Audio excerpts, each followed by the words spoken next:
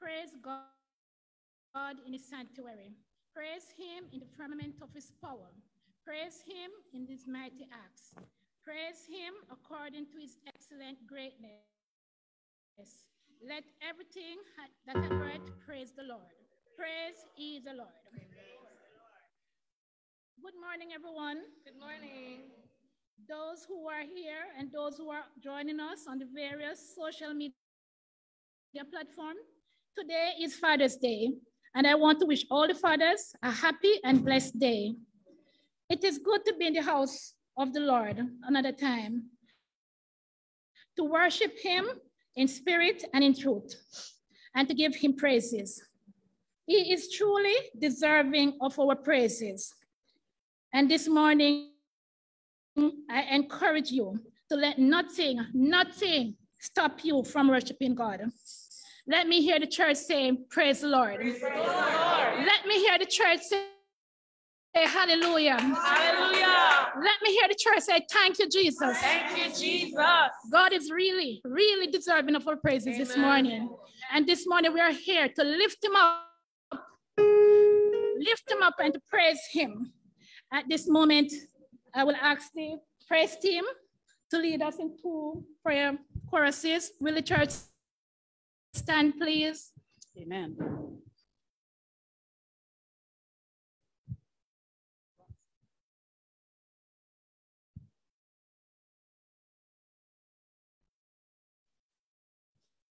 Bless the Lord, oh my soul, oh my soul. I worship his holy name. Sing like never, sing like never before. Oh my, my soul, I worship his holy name. Bless the Lord,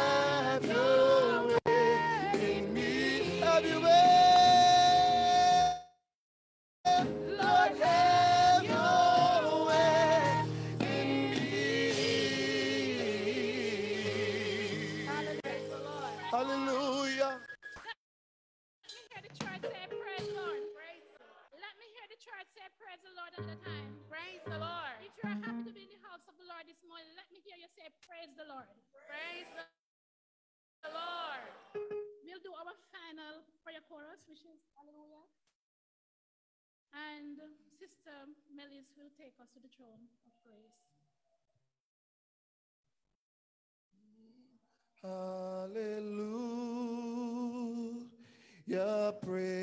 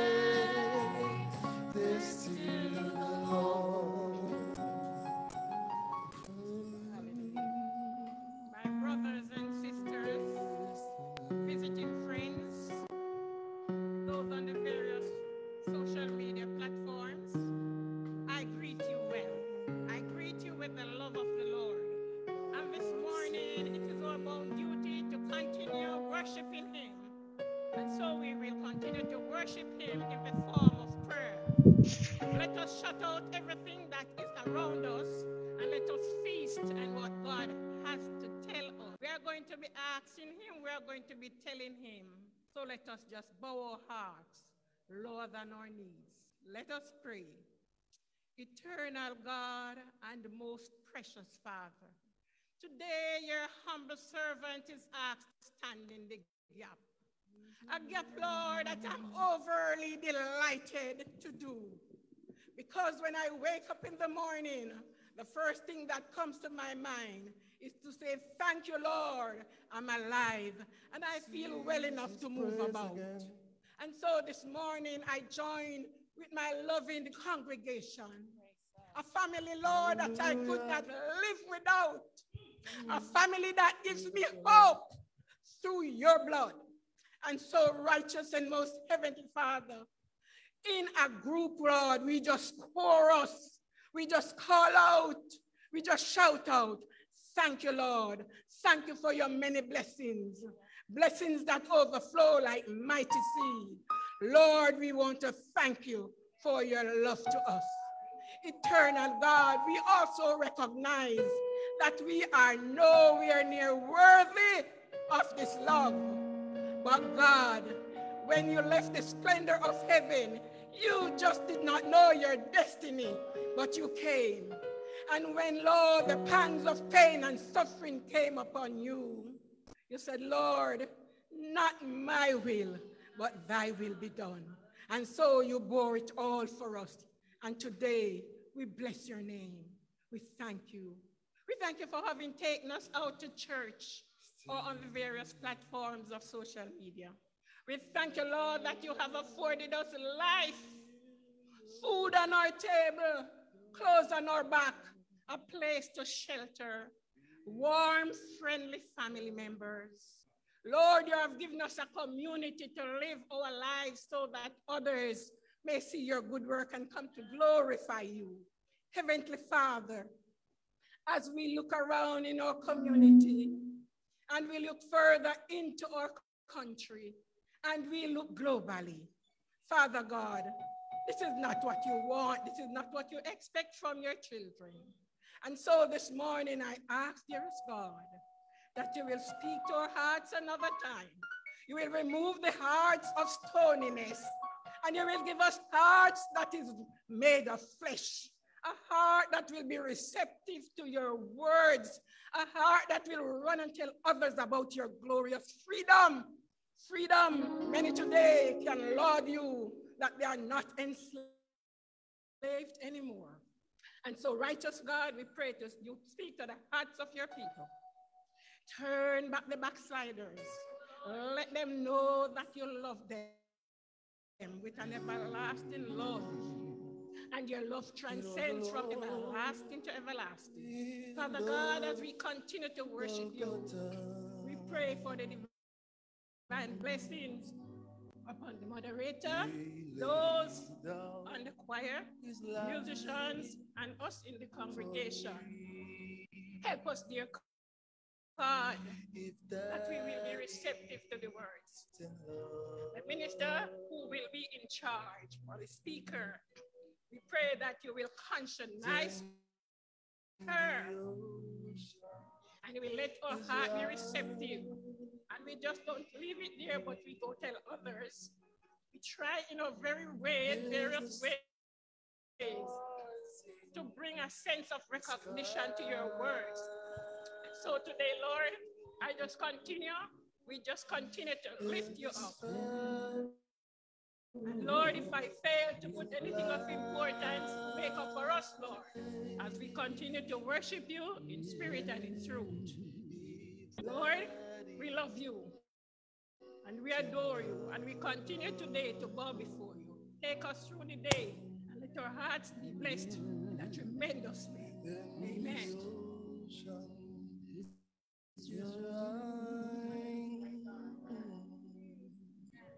Let me hear the church say amen. Amen. Amen. Please be seated.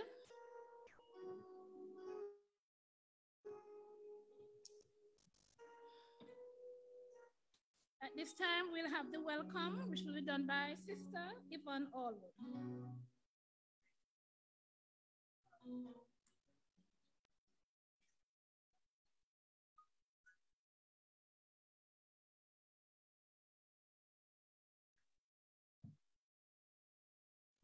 Good morning, everyone.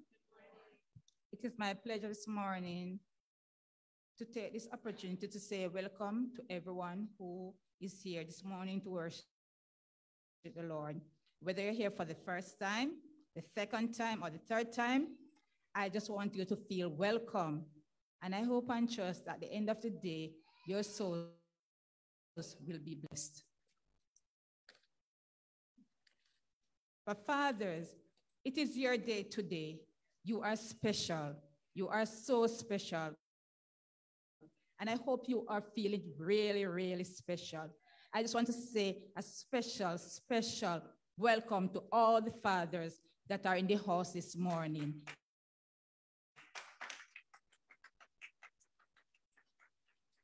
At this time, I'll ask all your loved ones to cheer you on so you can feel so, so special. Welcome, welcome, welcome.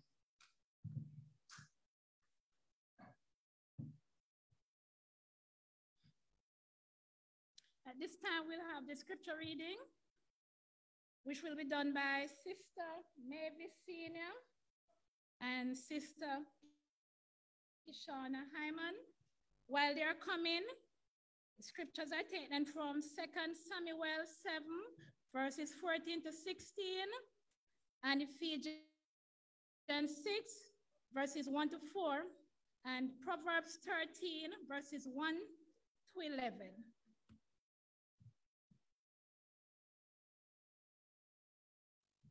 Good morning, everyone.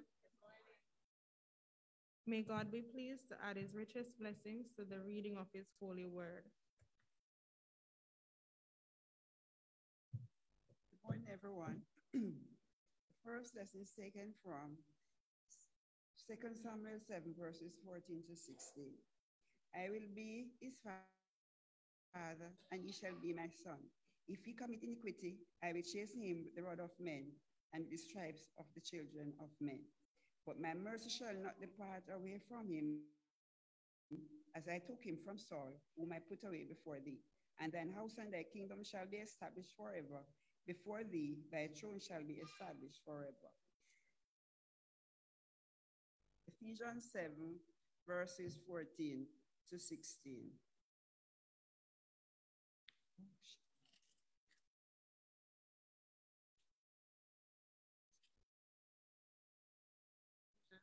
Ephesians 6, verses 1 to 4. Children, obey your parents in the Lord, for this is right. Honor thy father and mother, which is the first commandment with promise, that it may be well with thee, and thou mayst live long on the earth. And ye fathers, provoke not your children to wrath, but bring them in, up in the nature and admonition of the Lord. This is the word of the Lord. Proverbs 13, verses 1 to 11. A wise son heareth his father's instruction, but a scorner heareth not rebuke. A man shall eat good by the fruit of his mouth, but the soul of the transgressors shall eat violence. He that keepeth his mouth keepeth his life, but he that openeth wide his lips shall have destruction. The soul of the sluggard desireth and hath nothing, but the soul of the diligent shall be made fat. A righteous man hateth lying, but a wicked man is loathsome and cometh to shame. Righteousness keepeth him that is upright in the way, but wickedness overthroweth the sinner. There is that maketh himself rich, yet has nothing. There is that maketh himself Speak properly, Aaron. poor, yet hath The business of a man's life are his riches, but the poor heareth not rebuke. The light of the righteous rejoiceth, but the lamp of the wicked shall be put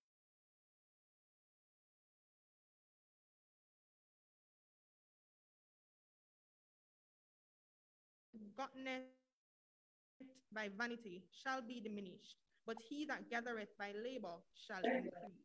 Here endeth a portion of God's holy word.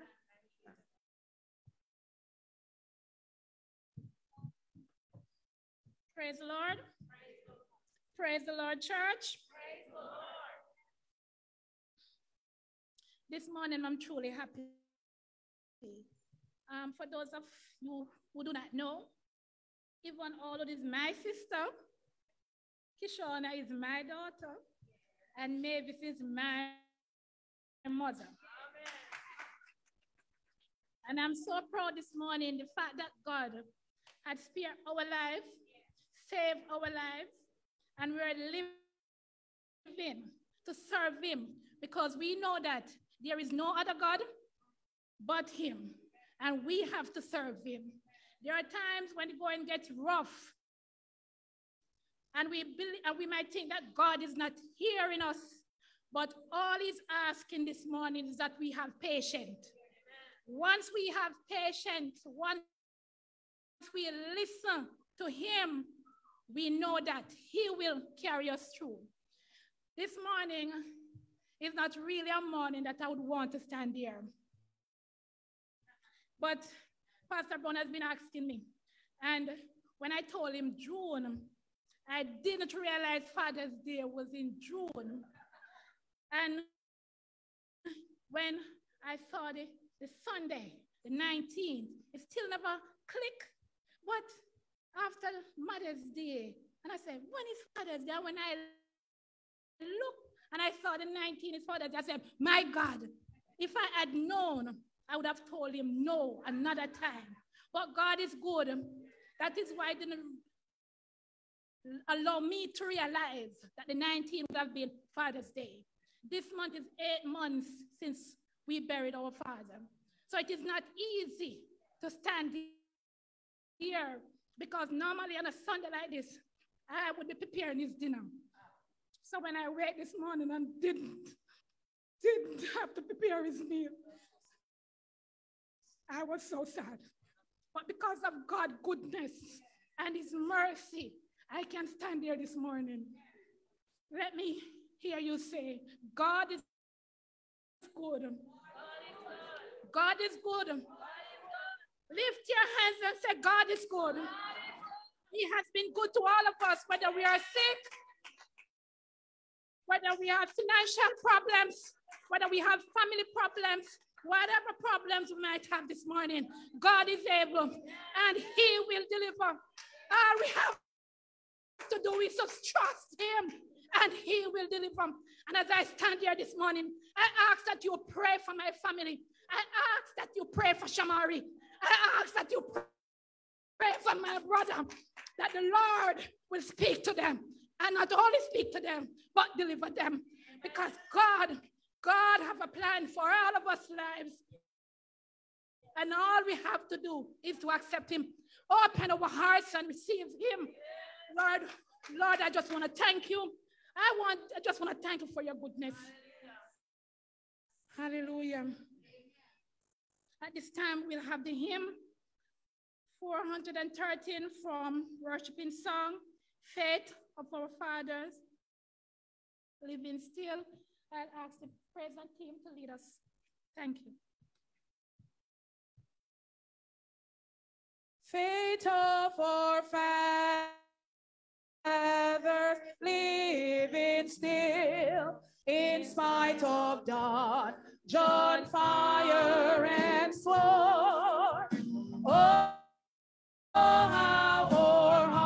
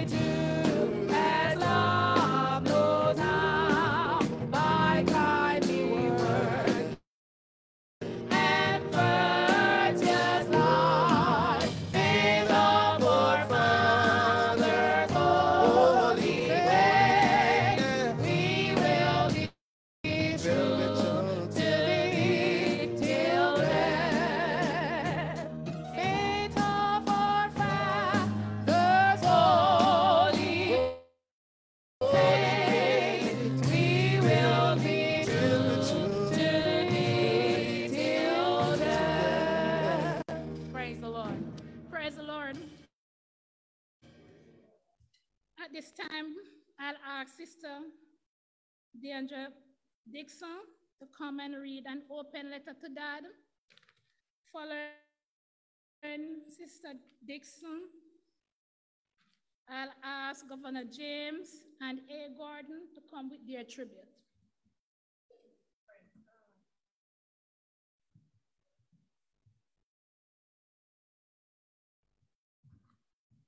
Good morning. Dear dads, everyone has a hero. Maybe it's a character in a novel, a historical figure, a celebrity, an entrepreneur. Sure, we have plenty of role models, but our true hero is you. From the beginning, in our best moments and our worst moments, you have been there guiding and protecting us. It is truly hard to sum up our feelings on a day like this. How can we thank you enough for your sacrifice, patience, hard work, support, and love. Our appreciation for you goes back a long time. Growing up, you told us we could do anything we put our mind to. During our moments of self doubt, you helped us to see our qualities were not weaknesses, but strengths. You told us that we were special, worthy, and taught us to always put our best foot forward.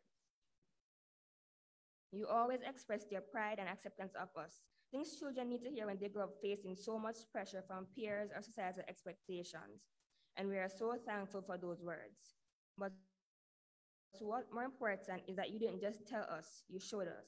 Your actions meant everything in the world, and that is why you are our hero.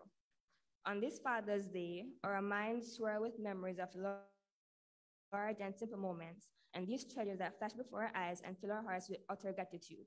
How can we put all of our appreciation in one letter or sum it up in words? Simply put, you have given us a happy life, Dad, and we love you. You are our hero, and we can't thank you enough. Love, your daughter or son, happy Father's Day.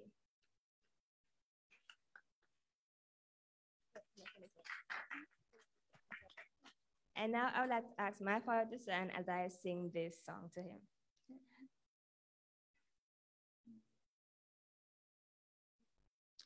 I keep fighting voices in my mind that say I'm not enough. Every single lie that tells me I will never measure up.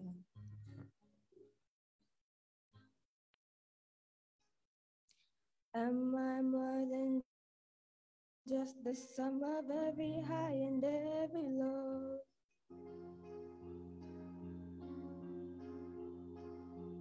Remind me once again just who I am because I need to know. Ooh, oh, and you say I am love when I can't feel a thing. You say I am strong when I think I'm weak, and you say I am held when I am falling short, when I don't belong. Oh, you say I'm yours, and I believe. Oh, I believe what you say to me.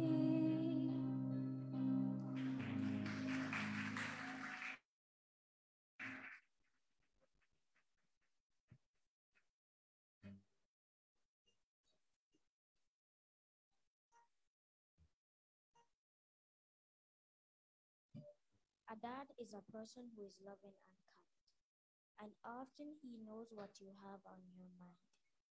He's someone who listens,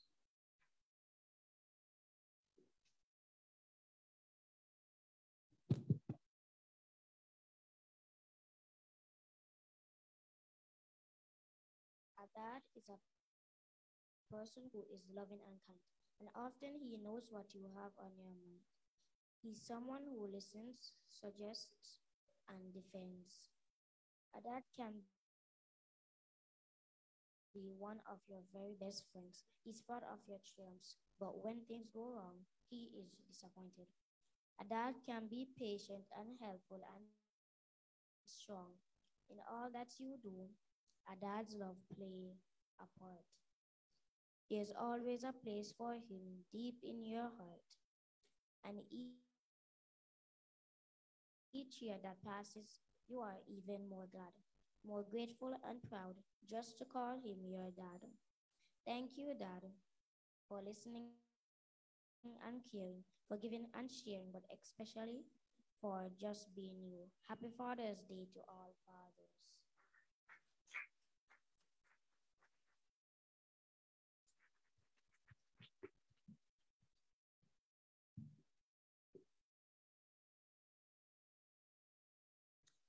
fathers. Good morning, everyone.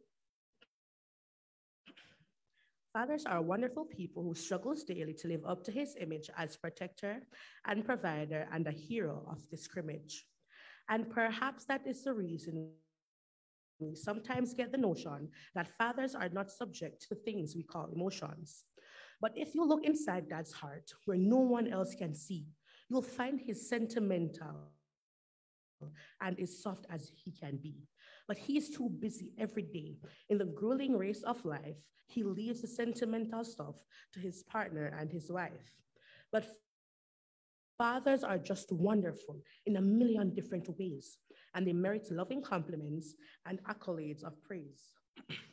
For the only reason dad aspires to fortune and success is to make his family proud of him and to bring them happiness. And like our Heavenly Father, He's our guardian and guide, someone that we can that someone that we can count on to be always on our side. Happy Father's Day to all fathers and a special one to mine.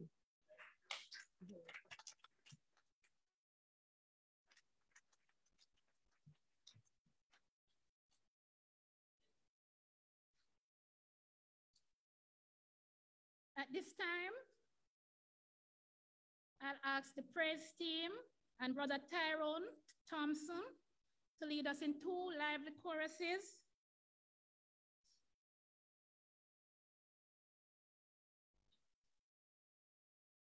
Will you please stand? Dance if you want to dance, jump if you want to jump, run if you want to run. Whatever you have to do, but give God a praise.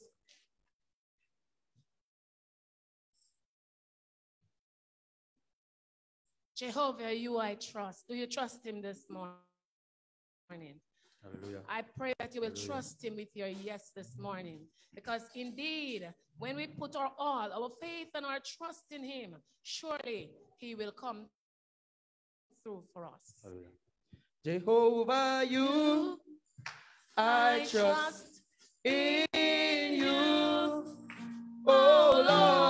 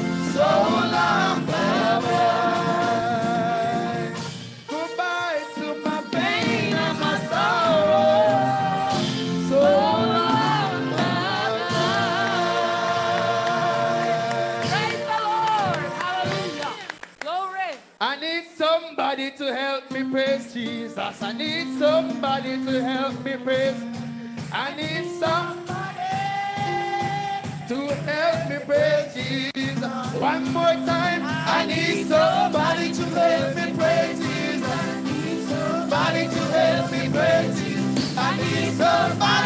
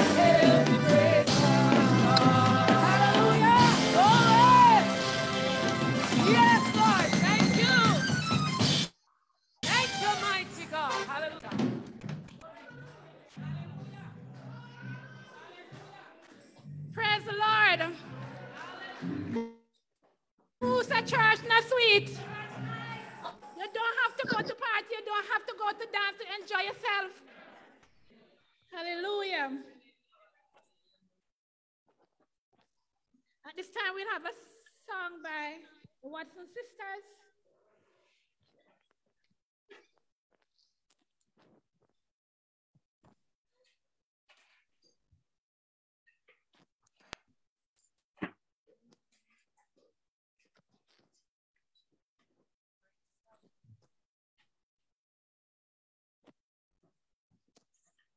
Good morning.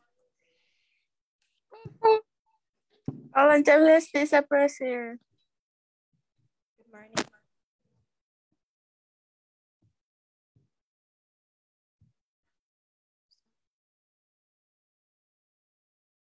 You were the end of the beginning. One with God the Lord Most High. Your hidden glory in creation, now revealed in you, O Christ. What a beautiful name it is. What a beautiful name it is. The name of Jesus Christ, my King. What a beautiful name it is. Nothing compares to this. What a beautiful name it is. The name of Jesus. You didn't want heaven without us. So Jesus, you brought heaven down. My sin was great, your love was greater. What could separate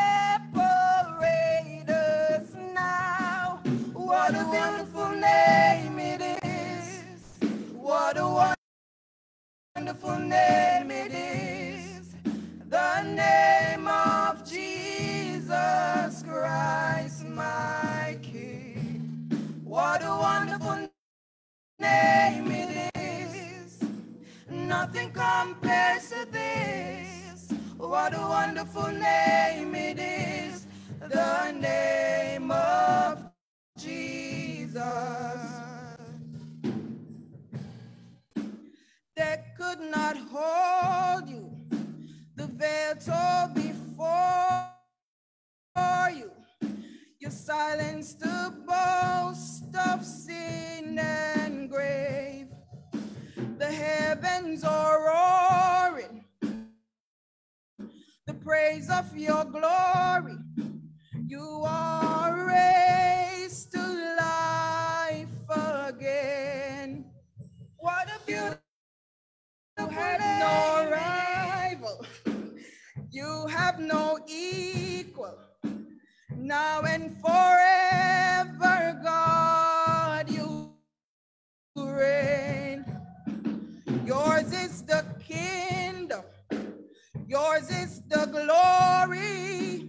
Yours is the name above all names. What a beautiful name it is. What a powerful name it is. The name of Jesus Christ, my King. What a beautiful name it is. Nothing can stand name it is. The name of Jesus. Beautiful name it is. What a beautiful name it is. The name of Jesus Christ, our King. What a beautiful name it is. Nothing compares to this. What a beautiful name it is. The name of, Jesus. What a beautiful name it is. What a beautiful name it is. What a name of Jesus Christ, our King. What a beautiful name it is. Nothing compares to this. What what a beautiful name it is, the name of Jesus.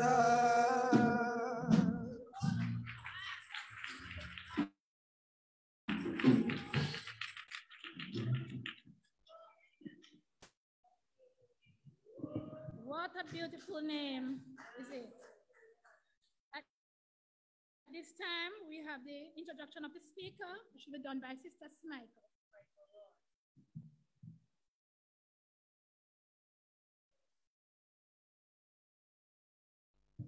Good morning, church. John Richardson said there are three kinds of people those who make it happen, those who tell it happen, and those who wonder what happened. Ladies and gentlemen, it's my delight this morning to introduce to you one of those persons who makes things happen, our guest speaker, Mrs. Jacqueline Taylor Brown. Mrs. Taylor Brown embraces Frank A. Clark philosophical position that if you can find a path with no obstacles, it probably doesn't lead anywhere. As such, she serves as mentor to many, guiding them to see life and opportunity through new and improved lenses. She's willing to sacrifice time, energy, professional and skill if she can add value to a life. She supports the position taken by William Wordsworth that the best portion of a good man's life, sorry, the best portion of a good man's life is the little nameless, unremembered acts of kindness and love. This has resulted in our service at the primary, high, and university levels, where she empowers individuals towards academic excellence. Mrs. Taylor Brown has copped a number of awards, inclusive of Teacher of the Year at the Frome Technical High School and the Northern Caribbean University. This wife and mother continues to mold the lives of children at the Frome Technical High School while conducting numerous workshops and seminars across the parish and beyond in support of teachers and students. She has occupied the chair of guest speaker and chairperson at several graduation and prize-giving services for several years and has done so with wit and tremendous dynamism. Sharing with us today is someone who loves the youth. My Burnt Savannah Church family, I present to you a mother, a teacher, a motivational speaker, a counselor, Mrs. Jacqueline Taylor Brown.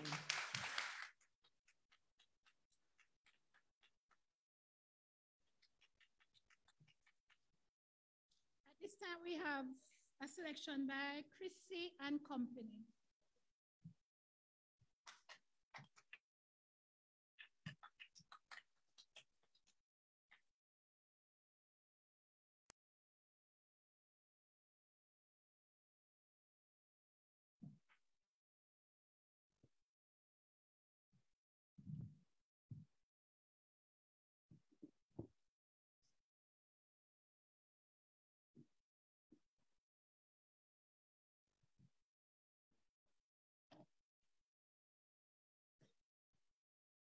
There will always be a special place in my life for you.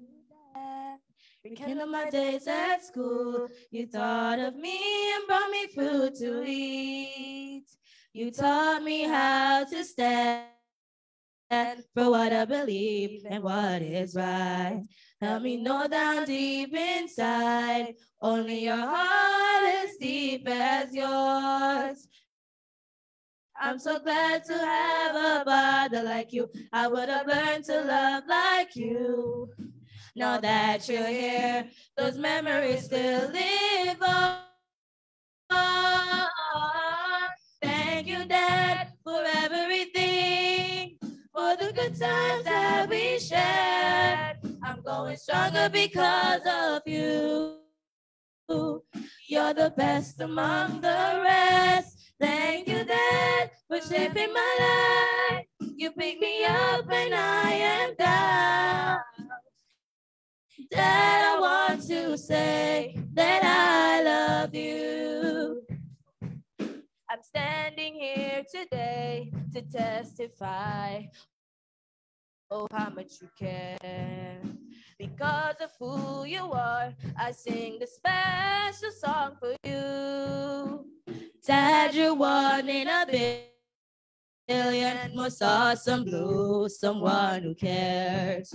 You never look for praises, you never complain when hardships around. You just go quietly working. Your words are very few. in times of storm, that you're always there for us. For everything, for the good times that we share. I'm going stronger because of you. You're the best amongst the rest. Thank you, Dad, for shaping my life. You pick me up when I am down. That I want to say that I love you. Yeah, thank you, Lord, for everything. For the good times that we shared. I'm going stronger because of you. You're the best amongst the rest. Thank you, Lord, for shaping my life. You pick me up when I am down. Lord, I want to say that I love you.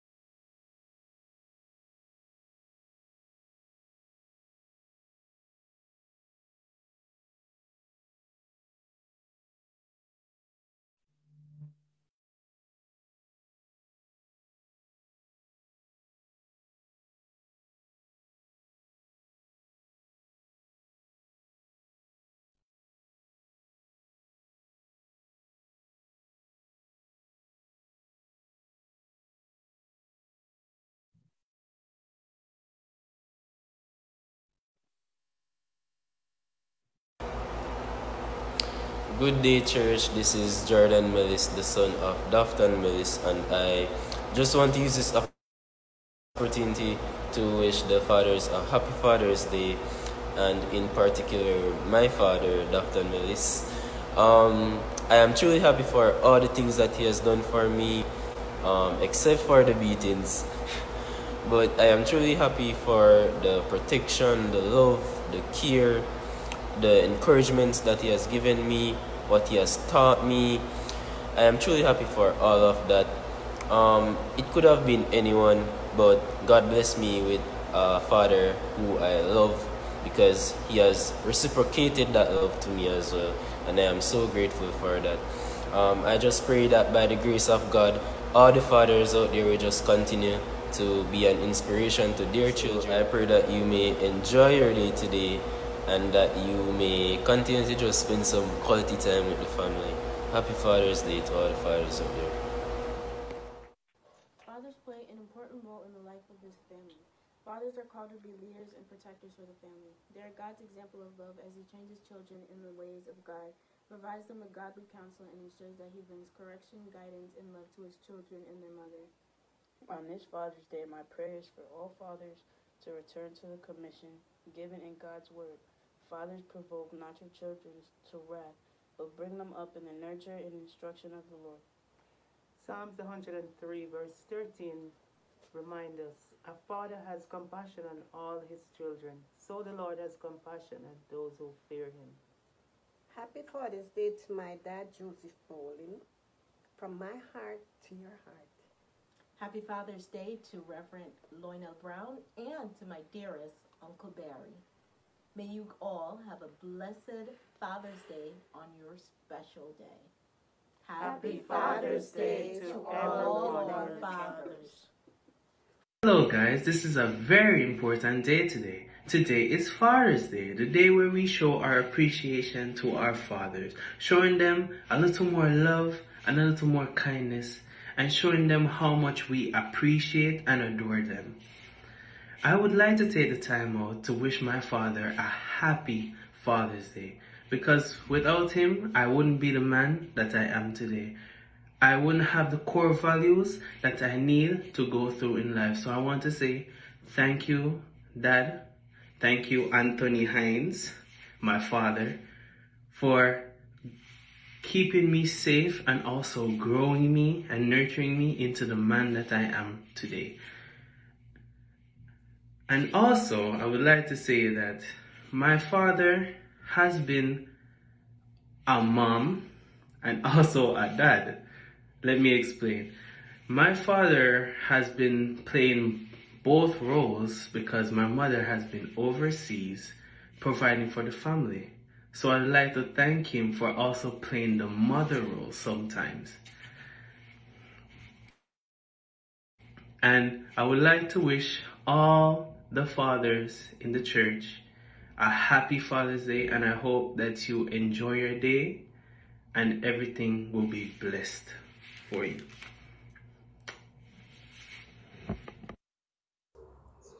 Happy Father's Day to all the amazing fathers out there. Daddy, happy Father's Day to you. Thank you for all you do for us. We love you, Granddad. Happy Father's Day. Happy Father's Day to all the wonderful dads out there, and a special happy Father's Day to my amazing grandfather from your granddaughter Amberly. And a happy Father's Day to all the dads of the Burnt Savannah Nazarene Church. Special greetings going out to our spiritual father, Reverend Lionel Brown, and an extra special greeting to my own dad, dad Barrington Plummer. Thank you for always being a stand up dad, amazing dad, a helpful dad, a loving dad. We love you. Happy Father's Day. Daddy, I have found my prince, but you will always be my king. No matter where I go in life, you will. Daddy, I have found my prince, but you will always be my king. No matter where I go in life, you will always. Daddy, I have found my prince, but you will always be my king. No matter where I go in life, you will always be my number one man. And Barrington Plummer, happy Father's Day.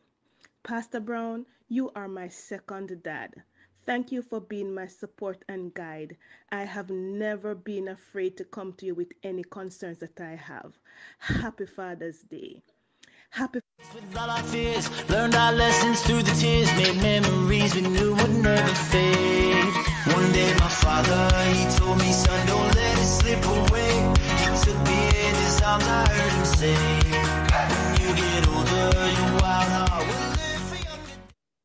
Happy Father's Day to all the fathers of Burnt Savannah Church of Nazarene. When I think of my dad, I think of a man who is truly incomparable. You have given me the best things in life your time, your care, your counsel and wisdom, and the greatest of all, your love. I'm truly grateful to have you in my life. You, Lionel Brown, are my hero. I pray God's continued blessing upon your life as I celebrate you today, Dad. Love you. The quality of a father can be seen through the goals, dreams, and aspiration he sets not only for himself but for his family. The heart of the father is a masterpiece of nature. Happy Father's Day, Dad. And I love you, and I wish I was there to celebrate with you, but we'll have many, many, many more Father's Day to come. Happy Father's Day. And also happy Father's Day to all the fathers in the Burnt Savannah Church of the Nazarene. Hi, Daddy. Um, I hope this message catches you in the best of health. Uh, I just want to wish you a very splendid Father's Day. Right? I hope you continue to just be the wonderful person you are. I could go into a lot of the characteristics, the good characteristics that you possess, but I'm sure your audience and us, your sons, know, and you yourself should know all of those positive, lovely characteristics that you possess. Right? So I just want to say thanks for being there for us, your sons, for me, in all situations, all rough highs, highs and lows and all of that. Right? And thanks for being there for your grandchildren as well. Right? Well, all all your grandchildren that you've received so far. yeah man. Alright, so just continue to be the great person you are. We love you, I love you. He said one day you'll leave this world behind. So live a life you will remember. My father told me when I was just a child. These are the nights to never die. My father told me. Daddy, Happy Father's Day to all. Daddy, I have found my prince, but you will always be my king. No matter where I go in life, you will always be my number one man, Barrington Plummer. Happy Father's Day. Pastor Brown, you are my second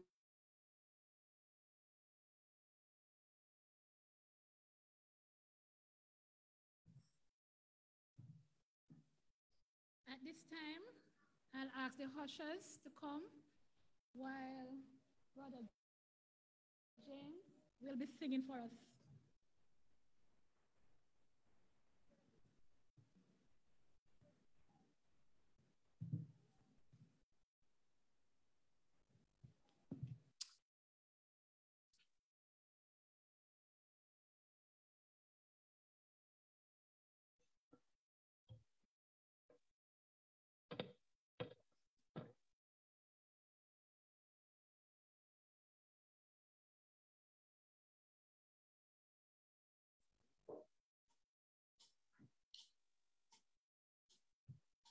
God spoke to me. Giving up shouldn't be. Sometimes the struggle gets so rough. But still, don't give up.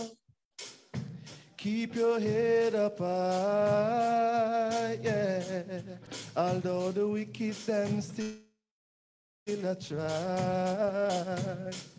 Remember that God is standing by to save you from the stormy nights. God spoke to me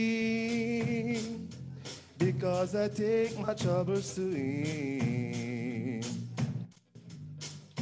Don't give up, my child. Keep your head up high. Yeah. God spoke to me because I take my troubles to Him. Don't worry yourself. Yeah. God is standing by. Oh, God spoke to me. Sometimes the trouble seems so long. Don't give up, my child. Keep your head up high. Yeah. Remember, God is standing by to save you from the stormy nights. God spoke to me because I take my troubles to Him. Don't worry yourself. God spoke to me. Don't worry yourself, yeah. God is standing by. God is standing by. Amen. Praise the Lord.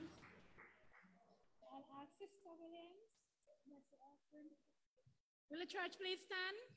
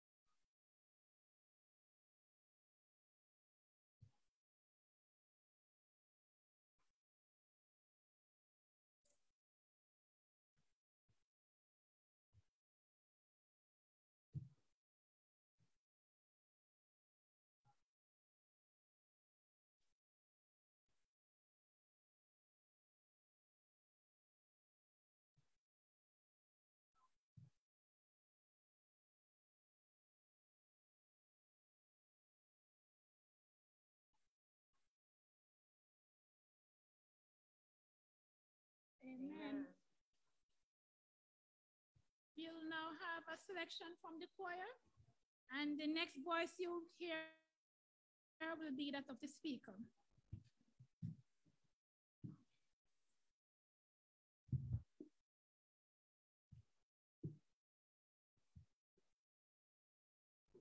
Hallelujah. Father of the world, you are the light within me, God of all creation, living in my heart. I will praise you, Lord, regardless of your blessing. For you are worthy of my praise, Lord, just because you are. Just because you are. Forever I will praise you. Just because you are. I will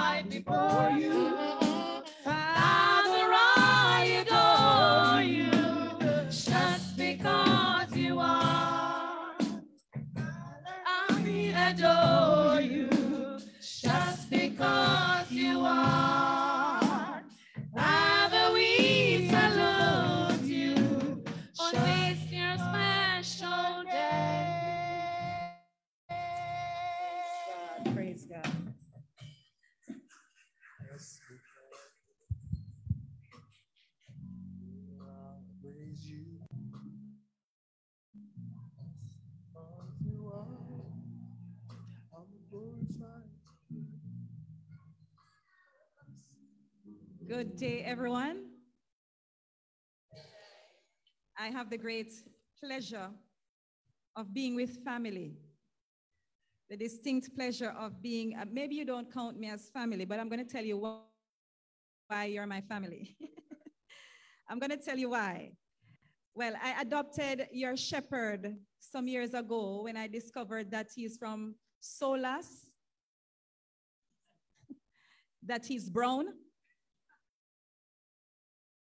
I, I, don't know if he has adopted me, but I adopted him. I don't th- think Mrs. Brown knew about it, about the adoption. So let me let the church know that my grandmother is from Solas, Brown Yard. I've never met anybody from there except this, this gentleman and Mr. Matthias. So I just adopted them because they could not be brown from Brown Yard and not be family. Sounds reasonable? And then since I came here, I've discovered that I have a number of children here. Yes? Mr. Esor right here. And Mr. Esor, make sure my photo looks good. He is my Caribbean studies student. Also Tyrone. And then Zandrina and family took care of me. Zandrina was my daughter at Manning's many years ago. And there's so many other students. I saw some just walking in just now. Yes, Mrs. Mellis had Jordan at Frome. And so we've had a wonderful relationship. Ophelia, my student at UCC. yes, and, and so you see what I'm talking about. I'm home.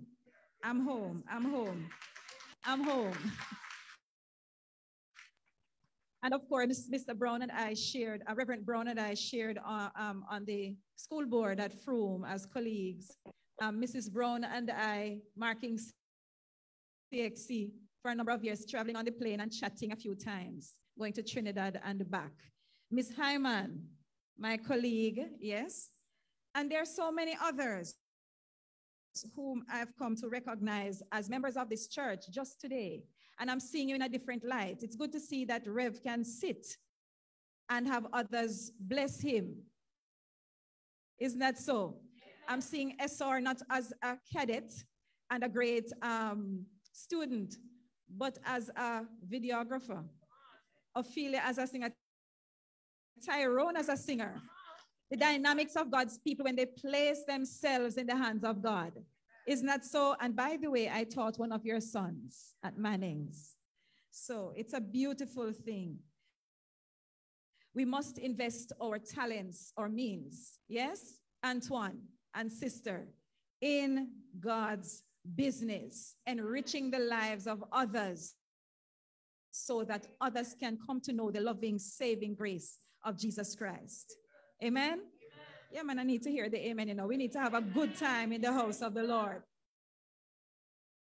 And I might use this opportunity too to say, big up dads. I ask permission to speak a little of the Jamaican parlance. Is that okay? Okay. So we are saying, uh, the righteous man walks in his integrity. His children are blessed after him. And only a few got a chance to send their greetings.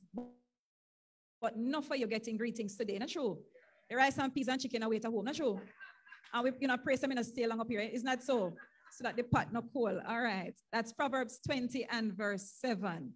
We also have learned from Proverbs uh, 22 and verse 6 direct your children, Father, onto the right path. And when they are older, they will not leave.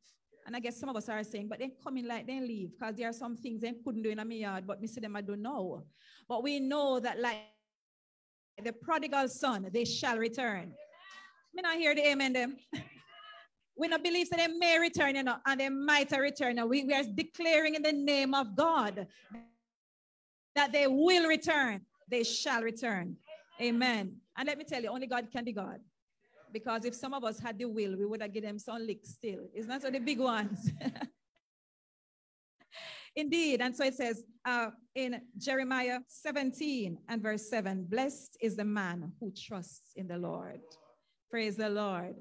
And today we look at the topic marriage and everlasting bond. Let us pray. Loving eternal Father, we thank you that you are God. And we ask now that you'll speak to your people, speak to us all in Jesus' name. Amen. I must, since we are going live, acknowledge my own husband who chose to learn to be a good dad, who chose to learn to be a good husband. And the reason I'm saying that is that nobody is born a husband. No one is born a father. And so what we become over time, it's because of our choices. Amen. And so I recall as a young wife, I, I didn't grow up around my father. As a young wife, I tried to be dutiful. You know, my mother was very dutiful. I, I was not so dutiful as a daughter, but, but I learned a lot of things. And so I chose now to implement them at marriage. I wanted a home spick and span. I wanted everything in place so that when the visitors came, they could say, Boy, you run a good house, you know? But when my husband recognized that I was pregnant, he took on a different form. He recognized that as I became larger, heavier, I might need some help. And I remember one day, Rev, he was on the phone. I overheard him calling um, his mom in St. Elizabeth and saying, Mama, how you fix a can pone again? I suspect he never prepared it, but he enjoyed it and he figured in himself that since me used to enjoy it, me go do it for my wife. And he went down to Sav Market and he bought some dry corn, dried corn. And he boiled some water, and I never knew how this was made, but he soaked it. And then he dried it and he grated it. Brethren, there are many of us whose husbands are doing well and we don't realize it. I, I don't think everybody heard that. We big up everybody else that we see looking dapper on the road, but we have not seen them in the kitchen. We big up the men who drive big vehicles, but we are not commending our men at home who are doing big things, but they seem like small things. So big up our shepherd, big up the fathers who have been there with their children, making sure that they stand by their wives, stand by their children, stand by their women, because we know some are not married. And just thank God that you keep the pillars of marriage, the pillars of your relationship alive. Mark 10 9 says, Therefore, what God has joined together, let no man put asunder. Serious words, you know that is declared in the word of God. So when Mary comes and say, My girl, you're still with that demand, eh? what shall you say? Huh?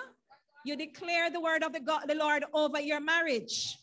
Let no woman put asunder. Let no mother-in-law put asunder. Isn't that so? In the name of Jesus. And if you notice the ring, all right, if you notice the ring, uh, it she will click to that, that slide shortly. It's a circle. It's complete. I, I don't recall seeing a broken married ring or one with a split in it. It's complete and it keeps going around and around. And except there is a point where there's a diamond, you don't know where it starts or where it ends. That's what it is saying to us It's suggesting to us that as married couples, no matter what happens, we stick together. Isn't that so? We stick together. I, recall a situation when I was a child that there was a family next door and the couple had a challenge feeding their first child.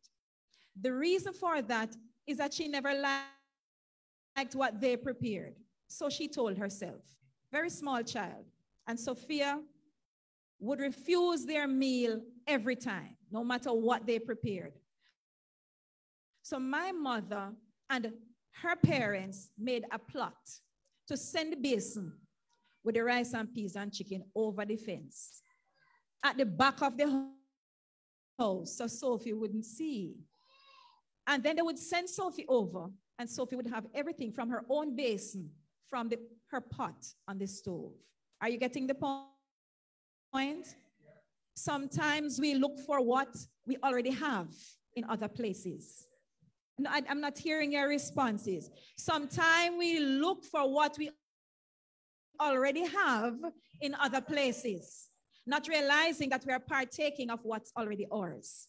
In other words, be careful what you seek for, because in not in every case you'll get what you look for. Are we together? Husbands, love your wives, just as Christ loved the church and gave himself for it. That's a blueprint. That's a blueprint, isn't that so? And we could flip it. Couldn't we flip it? Wives, love your husbands as Christ loved the church and did what? Gave himself because it's not a one sided coin. Isn't that so? And that is Ephesians 5 25. Proverbs 3 3 to 4. Let love and faithfulness never leave you. Bind them around your wear, your neck. Yes? Write them on the table or the tablet of the heart. Then you will win favor and a good name in the sight of God. Husbands and wives must be faithful. I recall hearing a gentleman saying that he quite appreciates various women. One to do the nails, one to do the hair, one to do the massage, another for the sexual treats, and so forth and so on. In other words, he's suggesting that none is complete. Isn't that so? So to the lady who he enjoys, who does his hair, she's that's, that's what she's for, just to do his hair. What, what happens when the day comes when she can't? Will she be useful still? Not at all. And you can add the other parts to it. And so we must make what we have work add the spice to our marriage. And maybe the wife will have to learn to do the hair if that's what he wants, to do the nails if that's what he wants. Or he might have to appreciate that she's better at the hair and not so much at the nails. So do the nails one, do you do your nails, It's okay. Take up the file, learn to do it yourself. Is that so? And if then if she's willing to do your nails, will you do her nails too? Or your nails are better than her nails. Things to think about, isn't that so? Food for thought. So, in other words, what you like for you, do it to her. Let her enjoy too, and vice versa. First Corinthians 13 and verse 2. This is a love passage. If I have the gift of prophecy and can fathom all mysteries, sound profound, not true? and all knowledge. And if I have a faith that can move mountains, but do not love, do not have love, I am what? Nothing. Nothing. That's the word of the Lord. Worthless in your relationships. And our children are watching. They have enough to guide them based on our relationship. Isn't that so? Oh, the son is saying, okay, so daddy treat mommy. Okay, so me go treat my girl when we get her. And we can flip that coin. And so we are saying, teach the youths right by way not only of our what? Messages or verbal messages, but our what? Sermons that we preach by our lifestyle. Amen. It would make no sense. And I see Sis, Sister Brown drawing closely. See a bond there. Isn't that so? One is not at the back and one at the front, and she has a coupon name too. yes? What would it make sense if Reverend comes here every day and speaks so profoundly from the word of God? And brethren are shouting hallelujah and when they go home. It's licks and boxes and kicks. What would God say of the man? Because in the end it's not the measurement that the brethren give is a measurement that God gives. Amen let everything you say be good and helpful so that your words will be an encouragement to those who hear it. Ephesians 4:29. Now, another uh, version, another text, 1 Corinthians 13 49 puts it this way Love is patient. Hmm. A lot of us like to walk out and we spend the night somewhere else as we can't bother. It does not envy. Oh, I missed out. Love is kind. Thank you, Rev. So love is patient. Love is kind. It's not envious. It does not boast. And some of us like to list the things that we have done in the relationship. You think I know, may I do this? I may spend the most money. My paycheck is bigger than yours. And if I never for me, you wouldn't reach where you are. Love does not boast, or it's not love. It's arrogance, not love. And by the way, love, love is not of man, love is of God. So love is divine. Love is divine. And so when we fail, we must go to the, the divine one to help refill us and refuel us, revitalize us so that we can be better for our relationships. Yes? And while I'm at this, I can say to parents as well, it fits in here too that our parent child relationships must mirror this uh, blueprint. Are you with me? Yes, man. Love is not proud, it does not dishonor others. Yes, and so there are some persons starting from school days where some young men start to tell what they did with the young lady and things about her their videos going around. It starts from we are young when we dishonor our women, our girlfriends, Yes, and I think some of us start too young. We're not ready for this thing yet.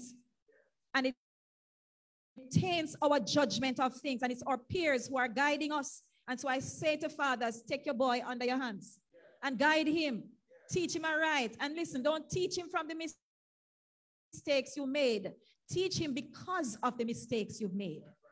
So, from what, because remember, we are not born that way. So, we are learning and we know we made mistakes. Say sorry to your wife.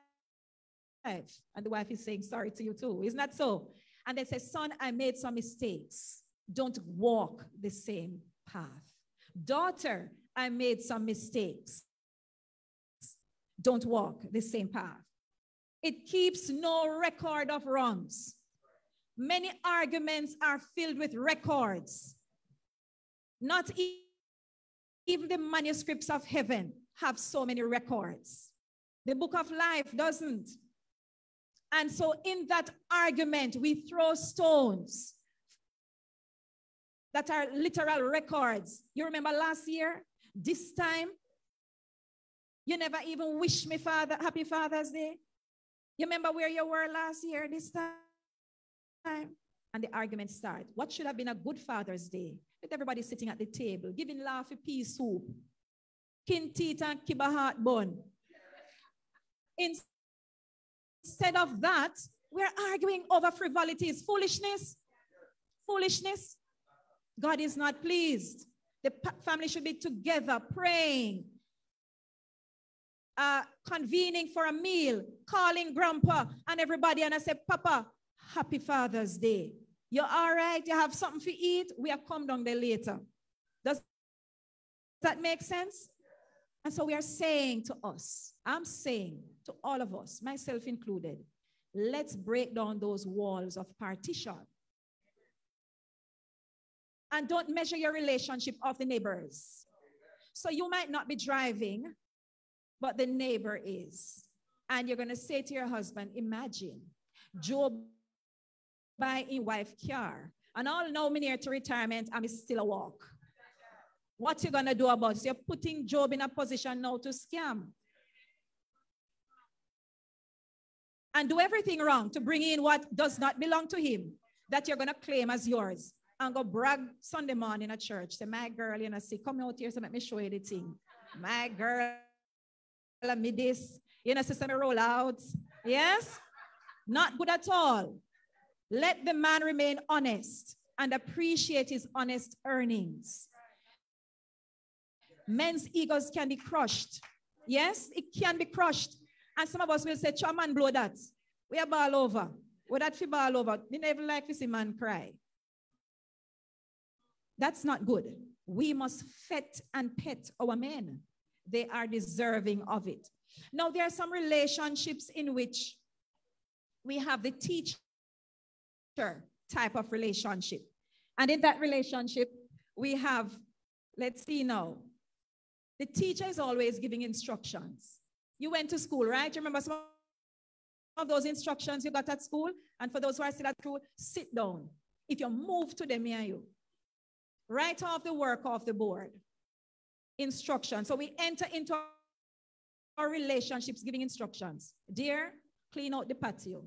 Dear, make sure say dear and we give instructions that's not how a relationship should be you might give reminders because sometimes we need reminders isn't that so but i'm not married to my teacher nor am i my my my spouse's student it's a relationship it's a give and take relationship isn't that so so it's not a case where you get up and say do this do that go there go come here no some have a police officer relationship.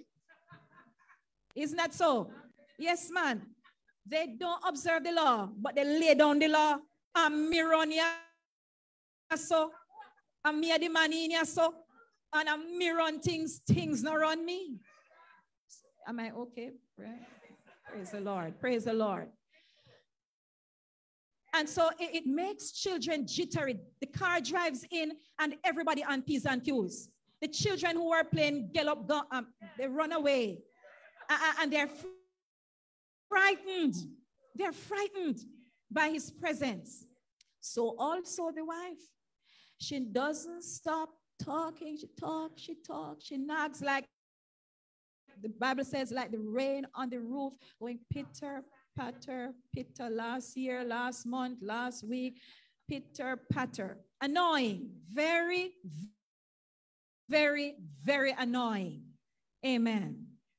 So if we're going to lay down the law, we must live by the law and be willing to have some laws laid down for us too. Isn't that so? Absolutely. What about the nurse? the nurse type of relationship. Give the medicine, but she not take it. Yes, man. Ever ask a nurse if she is feeling sick? She's not going to doctor. Well, let me say med medical professionals in general. And so that's why many of them perhaps have not even, well, let me not go into that, might be a little bit political. Let's leave that one alone. Ah, there we go, sis. Some of us marry scammers. And I'm not only talking about those with the lead sheets and the cell phones. I'm talking about those who are always taking but never giving.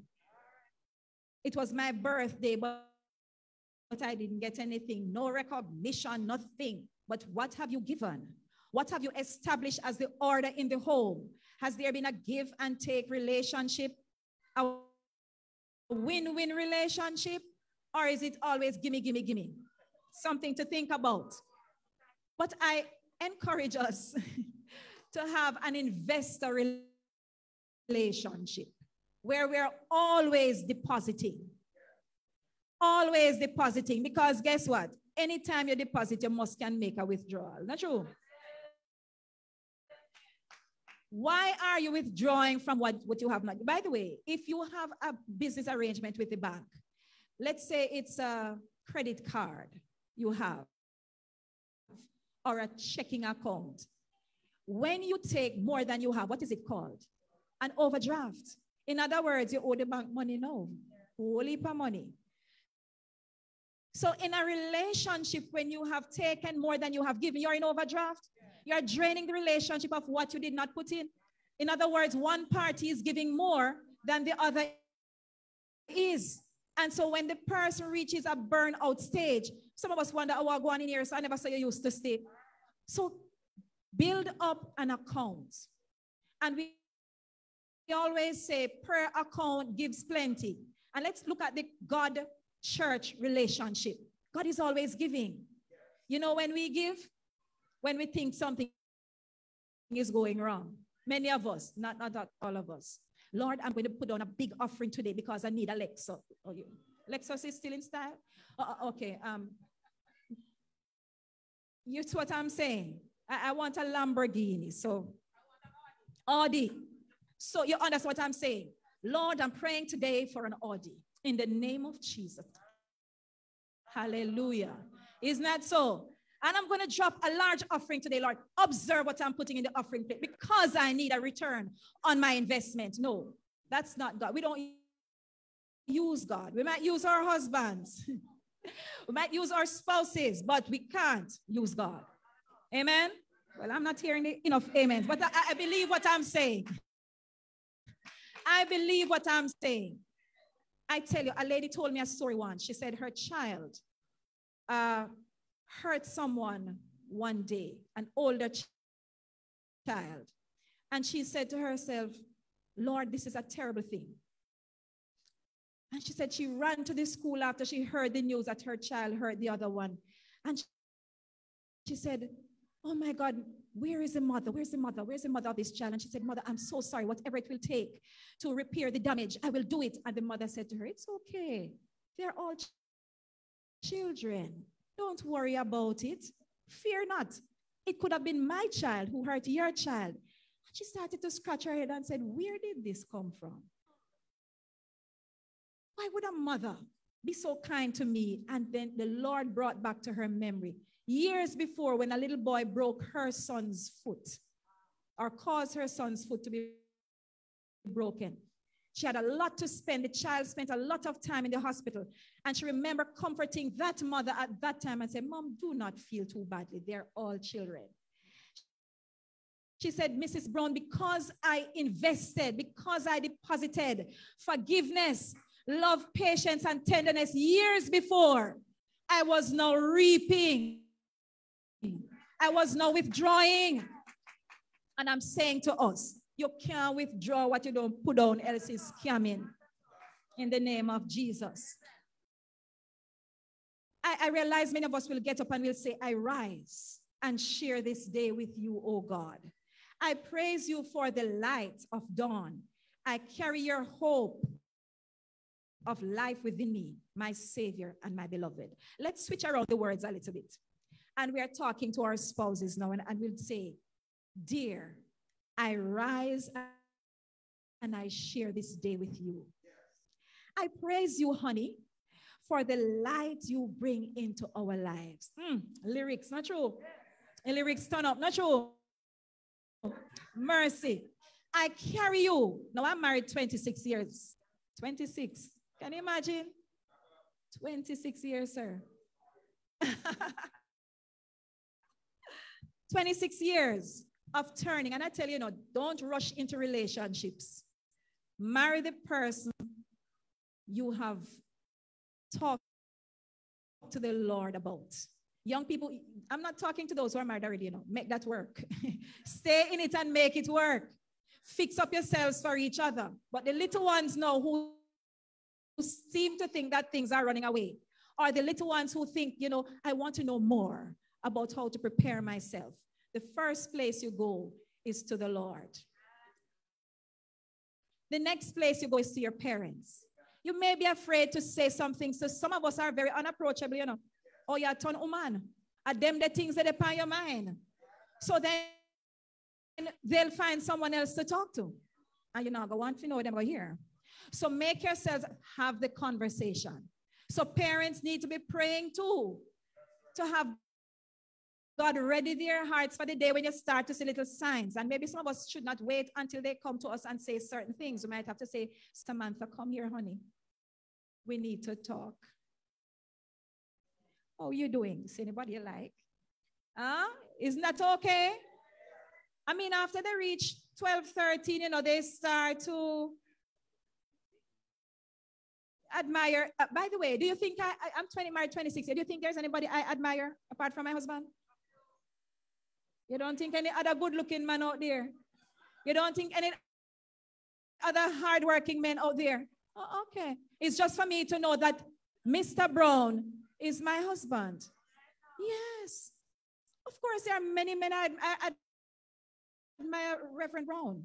And today I learned to uh, admire Mr. Spikel, a gentleman. I, I came here in style. Yes. Yes. Yes. And Sandrina does not have to feel as if there's any competition going on. No threats. By the way, I met a lady once. She, she, she I won't tell you where I met her. Young woman. And she, she would come to church looking miserable, very miserable.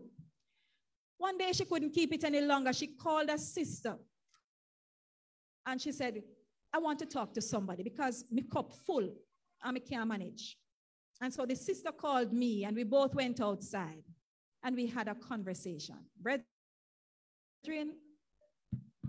she said, I have a man that I need to leave. I said, Oh my goodness. I'm thinking no abuse. I'm thinking abandonment. I'm thinking all kinds of things. And she said, Listen, this man doesn't want me to work. So I'm thinking, okay. Every woman wants to be independent. So I, kind of thinking maybe she has a point there. He doesn't want me to work. So I said, okay, but you want to work. Isn't that so? Yes, I want to work. Let me run this story quickly. She said, I said to her, um, why do you want to work? She says, I like to throw my partner. You know, many women here, life has become better because of the partner thing there. Not true. I want to throw my partner. I, want to keep it going because at the end of the year, I can buy a break front, a dress up, you know, yes, fix up the place, kind of a thing. So I said, okay, that sounds reasonable. And we began to question her. And I said to her, why do you think he doesn't want you to, to be um, employed? She said, really, I am usually self-employed. I buy things and I sell them. I have a little stall. And she said, you know, it's because my friends come and trust out the things them and it take, takes them a long time before they bring the money in. So I said, okay, that's not a good business. And you don't seem to be a good business person. Maybe your husband is telling you something. Because if every time, and I said, by the way, who, who buys the load for you? She said, the husband. No, brethren, on a serious note. If every time the man buy the load and give her, she give it to her, to Sandra, Jane, and so forth, it, it, who is it hurting? The man. So I said to her, okay, so who pays the bills? Him, with attitude too. I said, who buy your clothes? Him. So I said, who, who send the children to school? Like she said to me, say, what kind of question you're asking me? So I said to her, like, when you go to the supermarket, what, what is it? What is the situation? She said, me just pick up. okay. I said, like, when you go to the, the clothing store, what do you do? She said, we just pick up. Me say, my girl, not tell nobody else but your husband. Remember me tell you. Because Miss safely married and the lady you're talking to safely married. We're not going anywhere else. But remember me tell you, say, not tell nobody, nobody else. Not tell any other woman. What a man. Can you imagine? She want to sit on a street side in my mind to gossip. Because she's giving away the goods. She's giving away her time. She's not putting anything towards. And by the way, I asked her, so how do you still pay your partner even though you are not uh, making anything? She said, yes. Somebody said, how you pay the partner? Him. I said, okay. Let me tell you something. Many of us as women could spend less time on the phone. Many of us could spend less time at the fence. You know much pot, pot burn because of fence? You know how much stove mess up, pot boil over because of gossip on the phone. And some people don't like to hear me talking. I'm a traditional person. I believe in the old school. Yes, and gentlemen, same goes for the men. Me love when the door open for me, yes. And I'll say thank you, and ladies learn to say thanks. They will stop it. What that for me can't open the door myself. Me have a hand to no. You get some money, then what this? What this for do? You're lucky. I, I'm so sorry. Some don't get anything. And from the day they get pregnant, they don't know where him turn. Ask me because I have taught many students at school who don't want to hear about Father's Day because they hate their father, whom they've never met. Serious meds, um, serious thing I'm telling you. It says here a husband and a wife may disagree on many things, but they must absolutely agree on this to never give up. Are we together? For you know that makeup is sweeter than breakup. okay, you just have to have the breakup to understand the makeup. Um, we are not perfect people, and we're not living in a perfect world. Teeth and tongue meet. We will not agree on everything because my mother raised me differently from his mother. And then there's some things that will shock me, but over time we get to what? Accept that is so people do things in Senti. and eventually he'll realize that that's how we do things in Westmoreland. And if I annoy him enough as a Christian, I must realize that him don't like it. I must stop it. Amen. And eventually he will realize that I really can't stand it. And he must stop it. So we meet each other where? Halfway. Not true? Yes. Compromise makes a difference. Many marriages would be better if the husband and wife were clearly understood. Sorry, many marriages would be better if the husband and wife clearly understood that they are on the same side. Are we together? There is a song that I will not, I don't know the words, so thank God. But it's a reg, it's a it's a dance hall song the young people might know it. It tells, it's a female singing the song, and she looks in the song, she looks across the fence, and she sees this good, good couple, decent people, them living well. And in her mind, that woman is not doing everything she needs to do for that man. And if she were to get the man, she will show the wife how things are to go. And then one day, after much pursuit, she gets the gentleman. And then the song changes, the lyrics change, and she said, Take him back.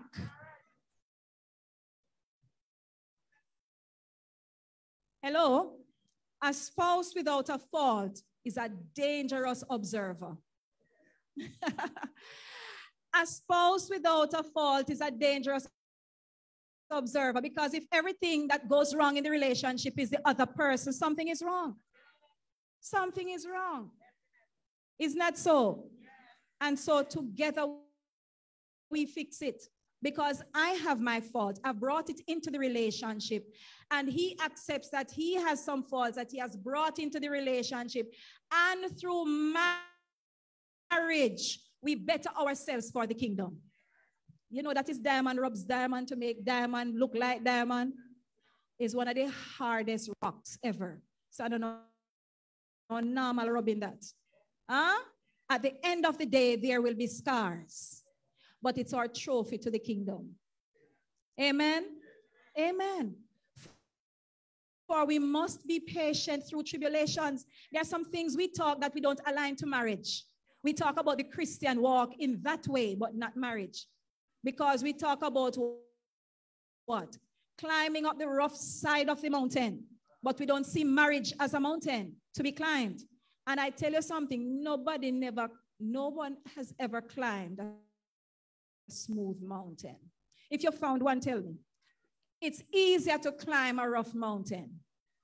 And so we understand that each party has some flaws and as I build you, some of my rough edges are removed. And as you, and vice versa, because I might just forget. I introduce to you quickly a couple from the Bible. Don't know if you've ever heard of them, but certainly our, our minister has Aquila and Priscilla. A lovely couple who lived in a time when there was great persecution, religious persecution, and the church was in their home. Now, many of you enjoy all, all the, and I must you, your offerings are going to good use. This is a place and a normal. I see the instruments, the uh, investment in this uh, camera and tripod. I see the ambience, the beautiful edifice you have here. Your offerings are going to good use. Aquila and Priscilla didn't have that. They had to hide in their home and slip in Christians, maybe through the back door, to have worship. The conveniences that you enjoy. And some of us criticize certain things, and I, I don't know what is going on. Is it? I haven't spoken to anyone. So if I've said anything inappropriate, it's not intended. And so Aquila and Priscilla in Acts 18, 1 to 3 are spoken of very highly. And we know that Acts was written by Dr. Luke. Yes? After these things, he left Athens, and they're speaking, he's speaking of Luke, of Paul, pardon me. Luke speaks of Paul's journey because he was a great missionary. After these things, he left Athens and went to Corinth, and he found a Jew named Aquila, that's the husband, a native of Pontus, having recently come to it come from Italy with his dear wife Priscilla, because Claudius had commanded all the Jews to leave Rome. He came to them, and because he was of the same trade, he stayed with them, and they were working for the trade. They were tent makers. So Paul, Aquila, and Priscilla were tent makers. It doesn't mean that, that there was the only thing they did because we know that Paul was great in terms of the letters of the law. So in our day, we might call Paul a lawyer. Yes, a Jewish lawyer. But he, he had learned a trade. And by the way, let me use this opportunity to say, men, learn to work your way around the house. Knock up two cabinet. Learn to fix. My husband did a, a, tiling course recently. He's a, in the business world. Yes, but he learned to do like a tiling. He had not too good for do tiling. Amen. Yes, and he speaks fondly of his days in St. Elizabeth where he raised sheep and do little melon farming and scallion and thyme and so. Getting our feet, our hands dirty and our feet dirty is not a disgrace. Christ bowed low to wash the feet of his disciples to show that what? He um, wants us to humble ourselves. Amen? But as tent makers, they learned the art of making money for the home. Now, it is not easy working with one's wife or one's husband. So it means that there was a relationship between their trade and their ministry. Amen. In many cases, those people were nomadic. So the tents were a little place of worship, a little home, a little something. Yes, a place where they rested for a bit. So they made money from this. And Paul, uh, Luke actually goes on to say in verses 24 and 20, um, 26, now a Jew named Apollos and Alexandria, an Alexandrian, pardon me, by birth, an eloquent man, came to Ephesus and he was mighty in the scriptures. This man had been instructed in the way of the Lord, and being fervent in the spirit, he was speaking and teaching accurately the things concerning Jesus, being acquainted only with the baptism of John. And he began to speak, and he spoke boldly in the synagogue. But when Priscilla and Aquila heard him, they took him aside. Now, these were ministers of the word. Isn't that so? They were students of the word and teachers of the word. Now, why did they take him aside? They realized that there was a new dispensation and they needed to talk about Jesus Christ and him crucified, not about John per se. Yes, we want to big up John, the great um, waymaker. He led the way, paved the way for Jesus Christ. But we must talk about Jesus Christ, who brought grace and salvation. Amen. And they took him aside and taught him. And he received it with thanks. A lot of men don't like to take instructions, you know.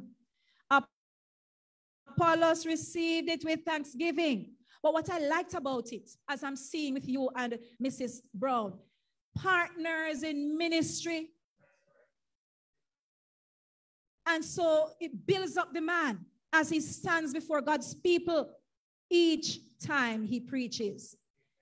She, I didn't know that you are good at the technical stuff, Mrs. Brown. I know you to be a Spanish guru.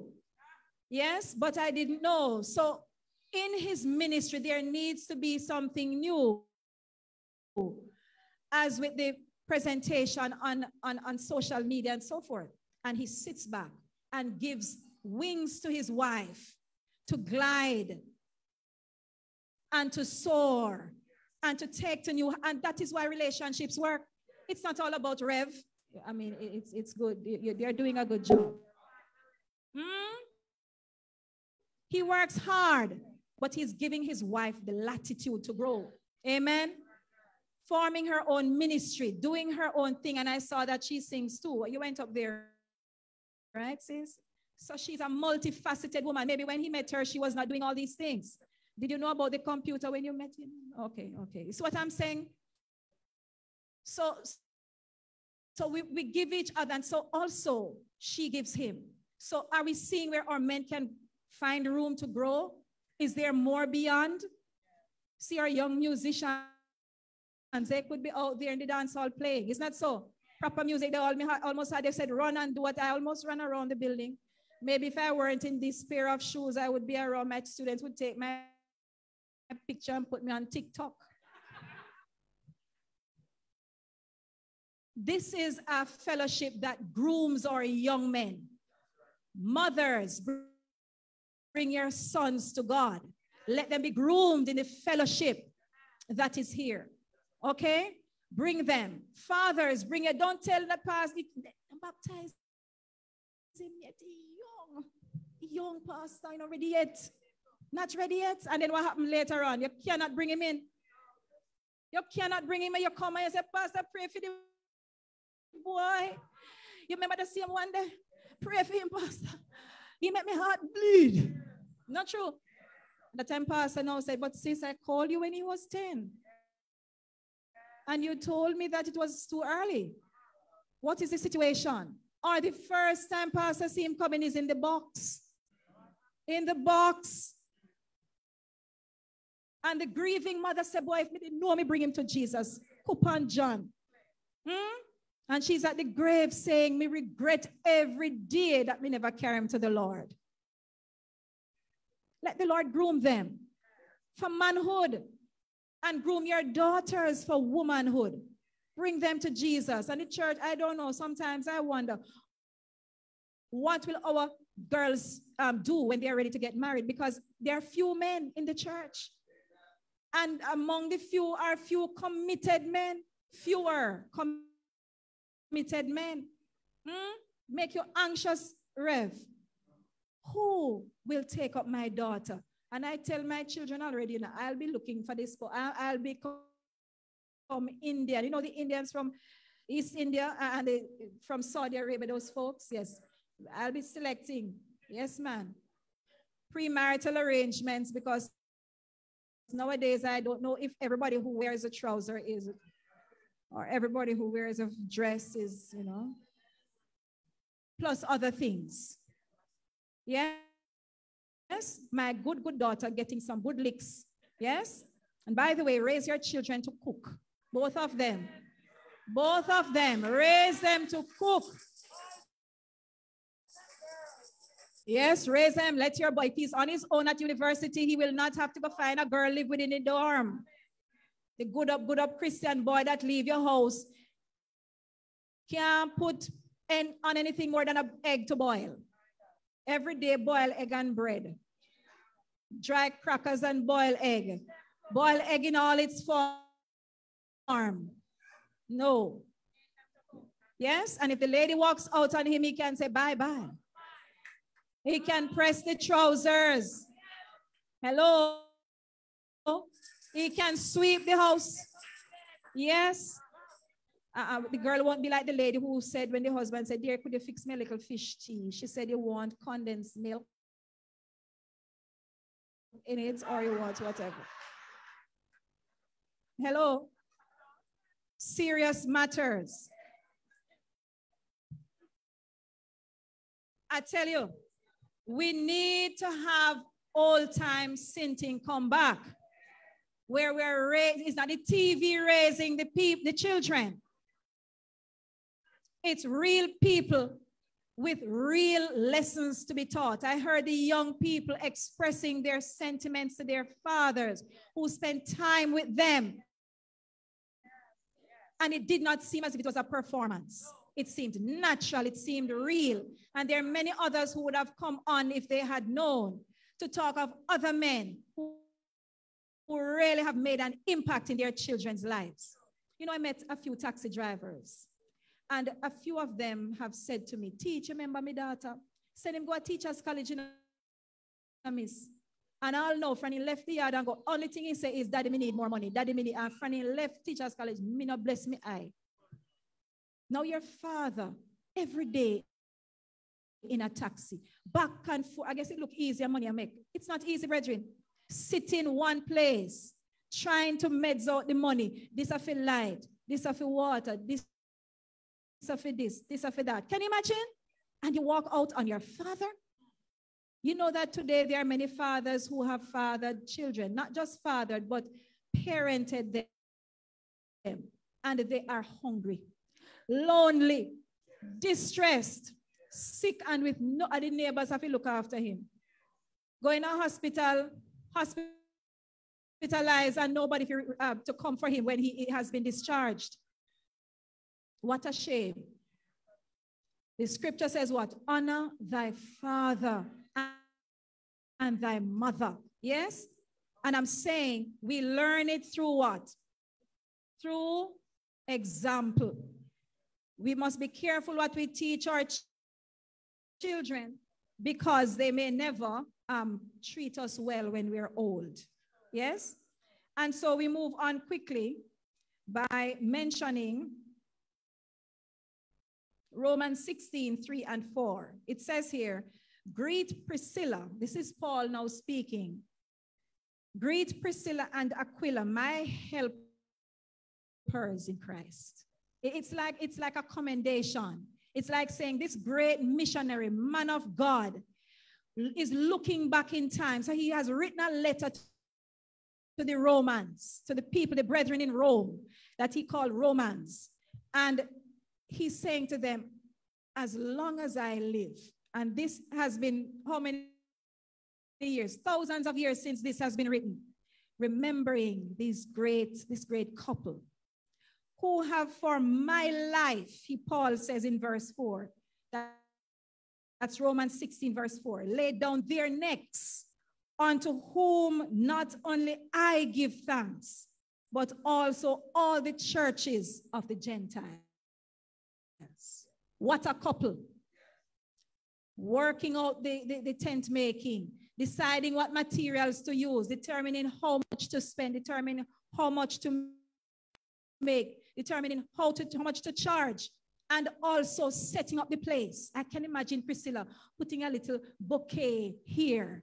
The brethren are coming, it's almost 10 o'clock. Decorating with the balloons, making sure there's proper ventilation, with a beautiful natural decor. So that when the brethren come, there is not only the, the uh, formal worship, but the appreciation of God's blessings to mankind. Amen. And so Paul acknowledges that a so couple to behave when they come to Christ. Stay together and work together. Amen. You know, I know of couples where the husband brings the wife in and then him leave. Are you hearing me? The husband brings the wife to church and then he slips out, and vice versa. And sometimes the wife is tearful and she's saying, I him bring me come to God, you know. And look, then gone. And because he's gone, the children follow their minds are all over the place. Sometimes at church, that's when they are young. Sometimes at home with daddy or mommy. And eventually they choose their own path. They don't care. And they will tell you, but daddy, you may have followed. You never used to go to church. Then he comes back when he's what? Very old. He can't see. He can't hear. And uh-huh. virtually, brethren, I'm so sorry to say, are very little use to the church. Very little use. You have to lift him. The deacons have to lift him into the pool. And the children don't have a relationship with him. Never call him dad. Never call him dad. I must also big up some stepfathers. Oh my goodness. Why you have some real good stepfathers who have stood in the gap for these children. I just want to share a few more quotes.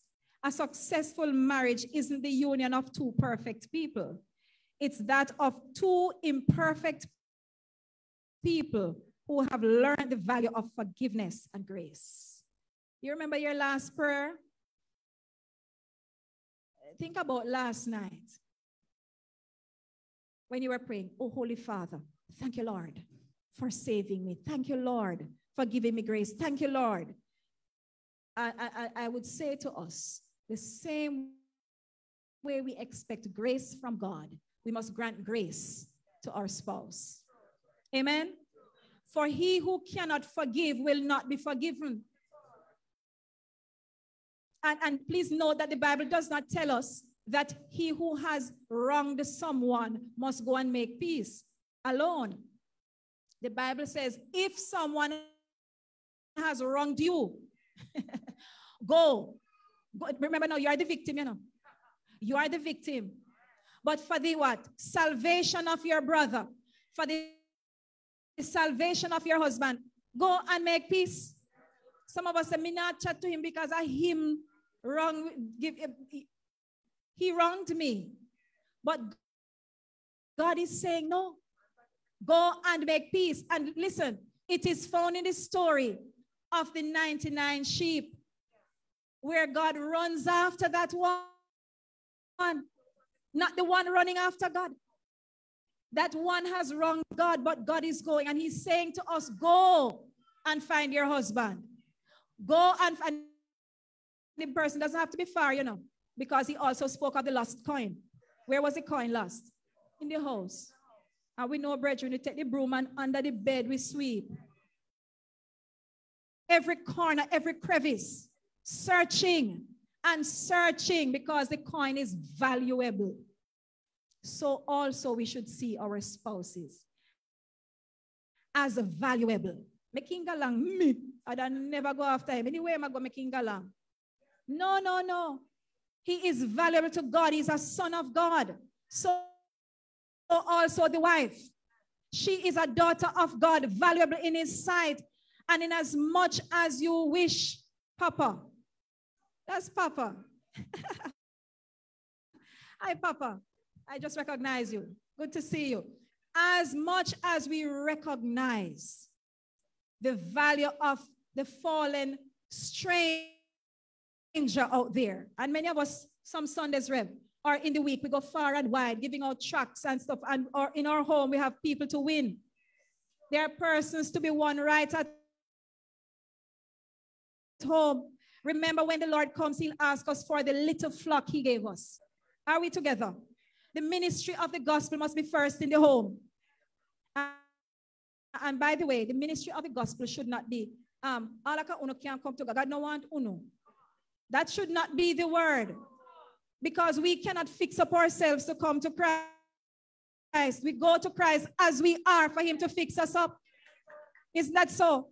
So that the one who thinks she or he has been fixed up needs some fixing up. Because any true Christian recognizes his or her, or her state of fallenness continually. And we are living in source of grace. It is not so, because we know that we are not saved by works, but by grace only through faith in Jesus Christ. No, man, sure. Are you hearing me? We are saved by grace through faith. Amen. Grace is what does it. The greatest marriages are built on teamwork. And they say, teamwork makes the dream work. Yes, the greatest marriages are, and guess what? Many workplaces get it right because they have many seminars and workshops on teamwork, collaboration, synergy, and some big words like those. But in the home, me do my own thing and him I do him thing. Huh? So if, if, if the corporate world is getting it right, what of the child of God? What are the, is it, some of us, uh, we are the ones who set up the workshops too, you know. Some of us are investing in the workshops. But that workshop is not working at home. We, we, we, the values are left at work. And we go home with our bitter, angry selves to create bitterness and stress at home. That should not be it. In fact, a mutual respect is expected of us. A healthy dose of admiration. No, me nothing say. Mrs. Michael should have said to me this morning, you look very nice, darling. And my husband didn't say it. Not true. Uh, bread, eh, eh. Don't you think my husband should tell me that I look nice? Even if nobody else don't think so? Him said to me, said, dear, change the, the, the, the dress. Not true. It, it not it too tight. It, it not set so right. Isn't that so? Oh, okay. Uh, uh so we admire each other. Uh, and he whispers sweet nothings in my ears. Isn't that so? You know, a lot of little kids at school are whispering sweet nothings. And that is why they get themselves in trouble. And that is why some marriages don't work because who whispering the sweet nothing is not who I'm married to. Why, Miss Brown, you look good enough. Yeah, man. Mm-hmm. I hear that. Huh? So as me jump in the car going back home, me say, you know, say Tom, Dick and Harry told me that me look good. I never tell me I look good this morning. I don't like it. I don't like it. Huh? Respect, a healthy dose of respect, admiration, and a never-ending portion or portion of love. And, and love, you know, there are some people who, who, who put love only in the category of sex. When my husband does the puddings now, sir, may I tell you, man, if it drop on me toe, me lick it too. Remember me tell you, that is 26 years, uh, how old is, okay, about 24 years ago since he started making puddings and he has moved from corn pone to potato pudding. Nicer than you can ever imagine. Yes? And if there's a Sunday when I don't want to lift a finger, remember, you know, that my rice and peas and chicken is sure. I- am not dropping any word for anybody. No, I'm just telling about my husband. And let me tell you, if your husband is good at something else, big up yourself. Big up yourself. I'm not forcing the men to go around stove and burn down the house. If, if, yes, fine. Be good at what you're good at. Be excellent at what you're excellent at, but be excellent at something. Are, we getting it right? Yes, man. Be excellent at something. Make sure admire you. Make sure knows that she will want to come home. And ladies, let me tell you something I learned. You know, there are some ways we have changed as women. We have baby and we change. Not true. Some of us get something around the waist, and some get some things in the abdomen. We were 110 pounds when we got married, but we're not 110 pounds since we get married. And the three pitney them give a whole heap of other weight. Not true. But fix up yourself. Be your husband's greatest admirer. And he must admire you greatly because you put yourself together. Are we together? Because him eyes not blind. Hello? He are not blind. He can see. Fix up yourself. Look good. Smell. Look good. Look good. Look good. I won't go to this smell.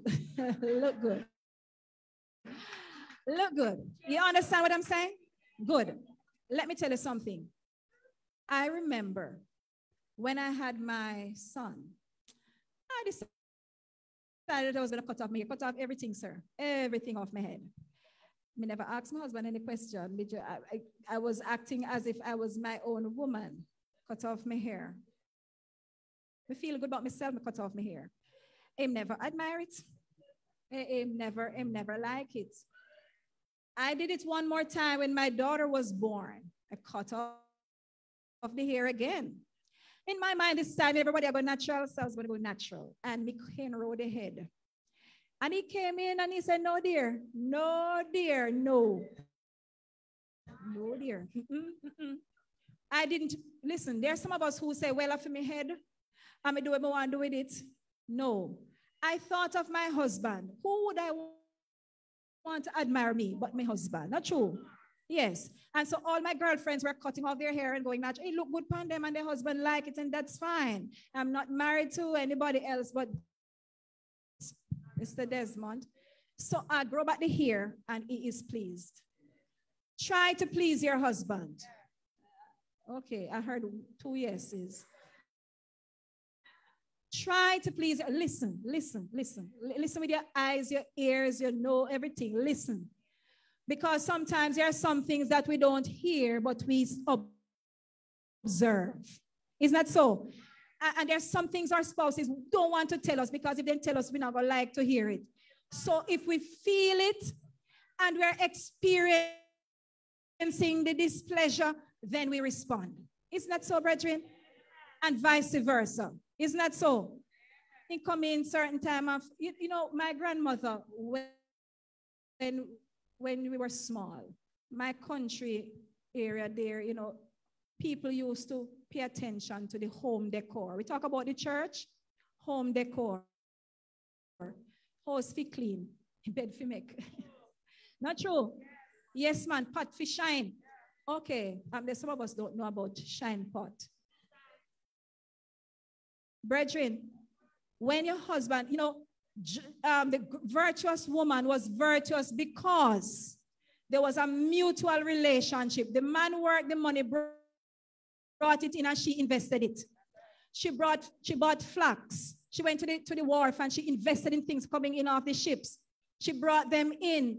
Her husband was, they said the man walked proudly in the community with his head up in the air. The men admired him because he had a virtuous woman but he was investing in her and she was investing in him. Are we together? Sometimes we talk about the virtuous woman as if it's she alone. She was married. And in those days, women were not given the privilege so much of working, but she couldn't. She bought land with the money. You know, women save very well. Sometimes when the man money finished, he said, Dear, you don't have any good thing they can't lend me. Let me something, man. You have something tucked away. And she said, I mean, I have much enough, but still want three grand here. And you say, I have more than that, man. All right, see 10 grand here. You say, oh, whoa. go look up with higher man. And she said, all right, see 20 here. So we must work together. My grandmother's house, they used to open it from the front. Anybody remember that type of house? Eh? The front door was aligned to the back door. So you look from the front and you can see straight through to the shine from early morning. And everybody passing that red oak. Mercy, stand up. Yes, clean. And before 12 o'clock, Sunday, pot come off a stove. Coconut grate, everything put in a pot. Not true? Okay. And persons enjoyed their relationship because in those days, many of them didn't have electric light. So pot to wash and turn down. And everybody foot wash. oh Lord, have mercy. You're with me. Let's look for the good old days when a happy marriage was a union for good forgivers. Amen. I close with this thought or story. Uh, they say marriage have teeth. Yeah, you know, and they say if no teeth, no India them by dentures give the marriage. I heard of a story, and, and it was told by a gentleman on the radio. He said, Sir, me not married to nobody who have teeth. No, me not married to anybody with teeth. Remember me tell you, because me have to buy the teeth. So the gentleman said, what do you mean? Well, any day in my shop, me take back my teeth. Any day. But on a more positive side, a couple was seen. This is an elderly couple now. And they were at a restaurant. They may have been in their 80s at a restaurant, and they were, they were not very strong, not very able bodied, but they were eating. And there was a young man sitting at another table, and he was just admiring the couple. He was saying, Oh my goodness, I wonder what I'll be like when I'm 80. You know, oh, look at them. But then he, he observed something that, that bothered him. The, the, uh, the lady was eating, but the man was not. And he said, No, mm, mm, mm, the two of them are at the restaurant. They have two different plates of food, but the lady was eating. So as he ate and ate and ate, he went over. He said, um, Miss, I, I don't know. It's not my business. It's not my place. I'm not even comfortable saying this. But why aren't you allowing your husband to eat? He said, Well, you know what happened? The dentures mash up. so because I'm a good gentleman, I'm letting her use my dentures now. Eat off the food. And when she finished, me have mine a marriage for eternity, an everlasting bond, forever together. Not the neighbors coming between, not the in laws coming between. Only Christ in the vessel. And we smile at the storm. And we know that He is the what? Peacemaker. And He will say every, every time things, every little in the marriage, He'll say, Peace, be still. God bless you.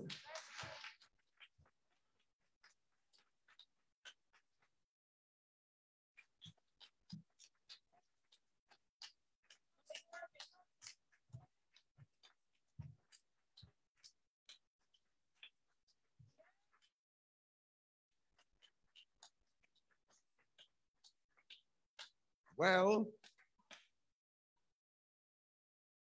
I'd like to inform you that she will return.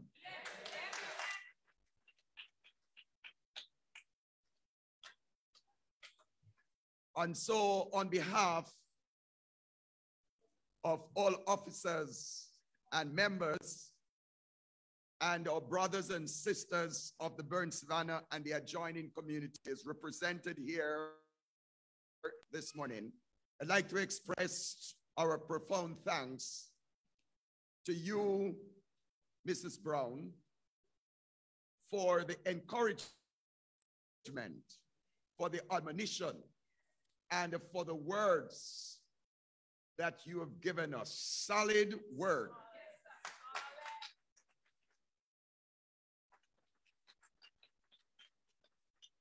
I am glad that you spoke to all the categories those who are married, those who are thinking of getting married, and those who are not even thinking yet, but they might just begin to think.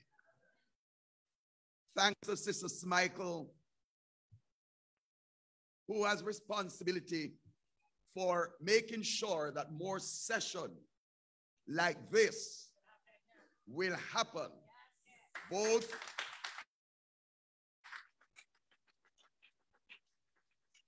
both in person and on Zoom. She has committed herself, and there's something about her. When she commits herself to something, even if she's timid, she's going to do it. So I want to give thanks today that God has spoken and I trust that we are all going home with a different mindset to make marriage work, to make life work. If life is going to work, everybody will have to work together to make it work. So, my last word on that is those who are married, it must be togetherness. Those who are not married, and those of you who have your girlfriend, your boyfriend, and wondering if you ought to get married, I say to you that you ought to get married if you find the right person. As a matter of fact, you should not even start. but it's not every it's not every start is going to continue to the end, right? But I encourage you. I encourage you. Think about it. If you love the woman enough and if she really is that kind of person that you're looking for, make the man, make the woman to be proud of you, a wife or a husband. May the Lord bless us and lift our spirit as we continue to hear. We look forward to the time when you will come back, Miss Mrs. Brown, and more people will come. So you will have to come with more. God bless you richly.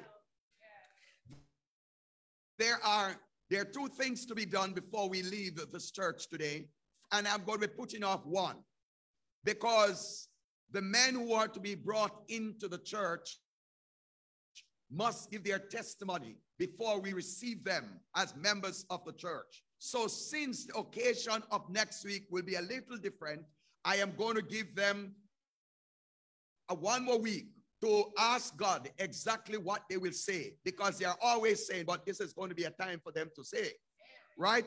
So, you will be here right right at this altar next week where I will receive you as bona fide members of the church, but you will testify before. Please remember that, brothers for next week, Sunday, the Lord tarries. There are babies that we have to christen, but I am doing it different this morning because COVID seemed not to want to leave us. And I am going to follow the restrictions, right? Although uh, the, the restrictions are somewhat, but they have said to us, be wise in what you do. So what we're going to do, we're not going to allow everybody to come up here. We're going to only allow father and mother of these children to take your children and we're going to ask one to stand there, one to stand there, and one to stand there.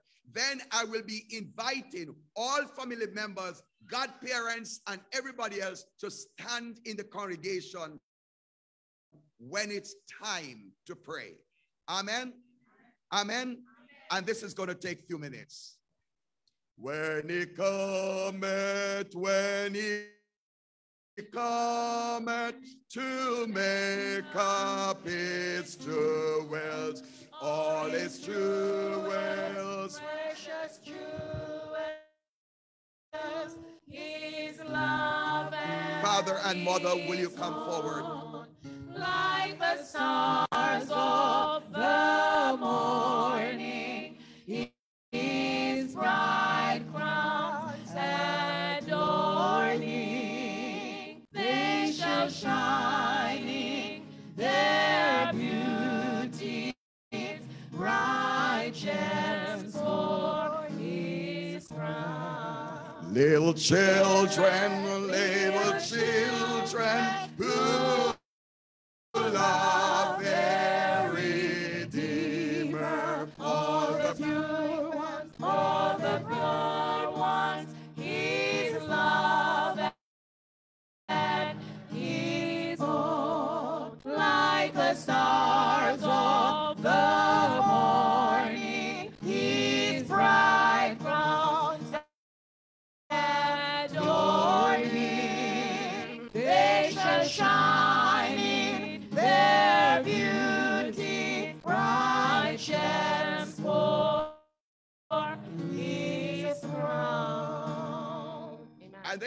children to Jesus that he might touch them.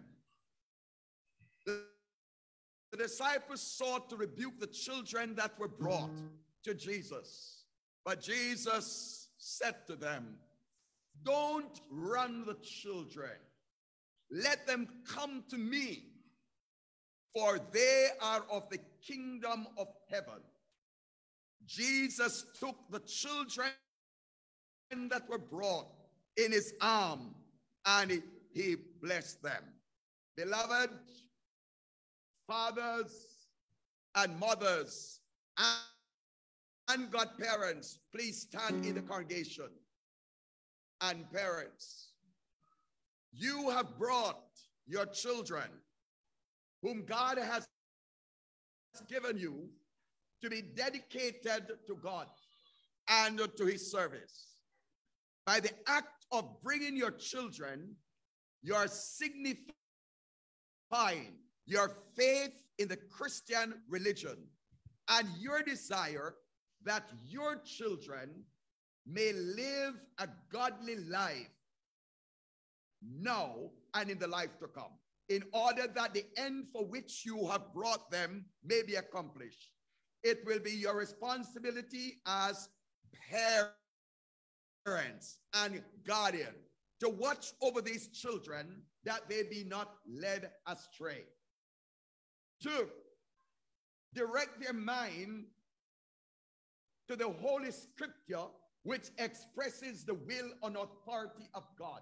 It will be your responsibility as parents and guardian to restrain them from evil associate, evil people, and bad habits.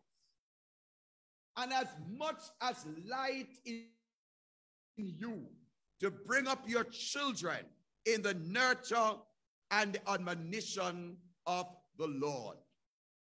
You will direct their feet to the holy sanctuary. And remember, your children, whether you are in America, in Canada, Africa, India, or wherever else there is, you cannot tell me that they can't go to church. They can, but they can be taken. And therefore, like Hannah, I ask you not only to bring your children for dedication, but see to it that your children are brought back very often to the church where they can be further nurtured with the word of God and they can grow in the likeness of God. Parents, young man, young man, young man, a funeral picnic. Member say, a uno go for them. You see that the pretty picnic there? A uno go for them. Therefore, Jehovah God hold you responsible for them. Not only now, but until they reach the age of accountability where they can differentiate right from wrong. And even at that age, you must set example for them. Mother, I know you are always most time the burn bearer. Man, take care of your picnic. you hear me? Make them talk like you see the boy, them are adults who talk by yourself. Yeah, man. Be there for your children. Be there for them. If you support them, they will support you. Stand up for what is right. Stand up for what is right. Begin to train them right, teach them right, and live right before them. They will not depart from the good you have done. God bless you.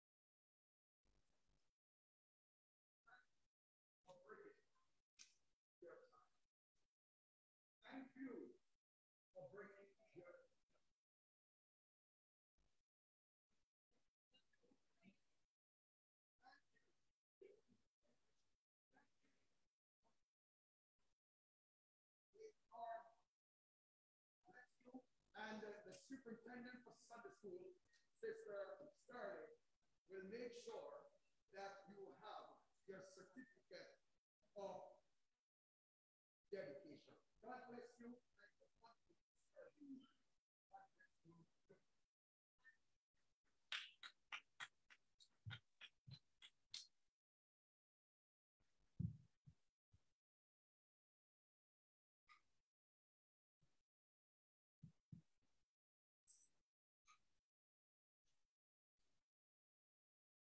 All right. Now you are leaving church. And uh, fathers, last time the women were here, you bless them. And as you go from church today, the mothers and daughters want to bless you. So I want to take myself out of the way. You won't come back to church this evening, right? You will go home and you will either stay at home and have a good time with the family or you take them go where you go. Right? But this evening or today is the man's day or the husband's day. You hear? And a field day. And of a picnic day. You understand? It's husband day. Jennifer, you hear that? A fimi. You hold the for me. Brother, brother, brother Smack, you know, you know agree with me. How about you, man? If, a flowers are throw me a throw upon. Anything I have, me I get it. All right, this is my day. So, services will continue each weekday as is set. Joint prayer meeting on Wednesday evening. It will be a special service when we will talk about money. Lord, money. The Mayless family have requested that their child be funeral be hosted here. And according to the agreement of the church, the funeral will be hosted on Saturday, the 25th of June at 11 o'clock. That is Nathan's funeral. All men are invited to a meeting. If you can't come in person, come on Zoom. 6.30. That is before the special time on Wednesday evening. Money matters. So all men who can, who don't want Zoom, pass someone to see you. It's going to take half an hour. Please, I beg you to come. If you cannot go on Zoom, meet me in person here. Again, I want to call Mrs. Brown, and she is going to be uh, making sure that the men are feeling good. Boy, may I tell you something, you know, the best people in the world are a woman, you know, men. Amen. Amen, ladies. You just look for me and I laugh. Not true. The best people in the world are men. Not true. Not true. Amen. Amen. Amen, ladies. Men, you are so, so, so special. God made you special. And we salute you today. And right now, we're going to ask all the fathers who are in the space, you're going to stand. All the fathers, you're going to stand at this time. I'm going to ask Sister Ophelia, Sister Lynette. They're going to lead out and they're going to sing for you, God God made you very special. Just before they come, I'm going to ask Sister Joan. Sister Joan, Madam Secretary, I think I, yes, Sister Joan, please come.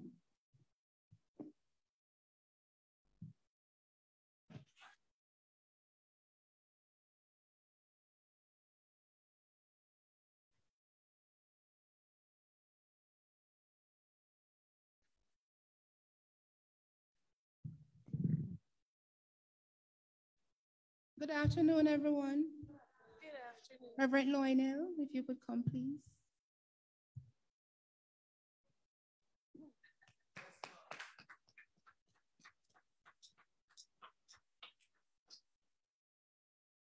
Okay, so on behalf of the church board and members, it is my great pleasure to present to our Father. We could not want a better father than the one that we have. He is always there for us. I know at times he may maybe in his bed and can't sleep because he's worrying about his children. Um, I know how much he loves us. I was feeling down one Sunday. I came to church and I was not feeling myself. And as a good father, when I went home, I got a phone call. Sister Joan, I didn't like how you look today. You're all right. And this is the kind of father that we have here. And I know that he has extended the same sentiment to all his children, not just me. And Pastor, I just want you to know that we love you, we appreciate you, and there is no other like you. Happy Father's Day.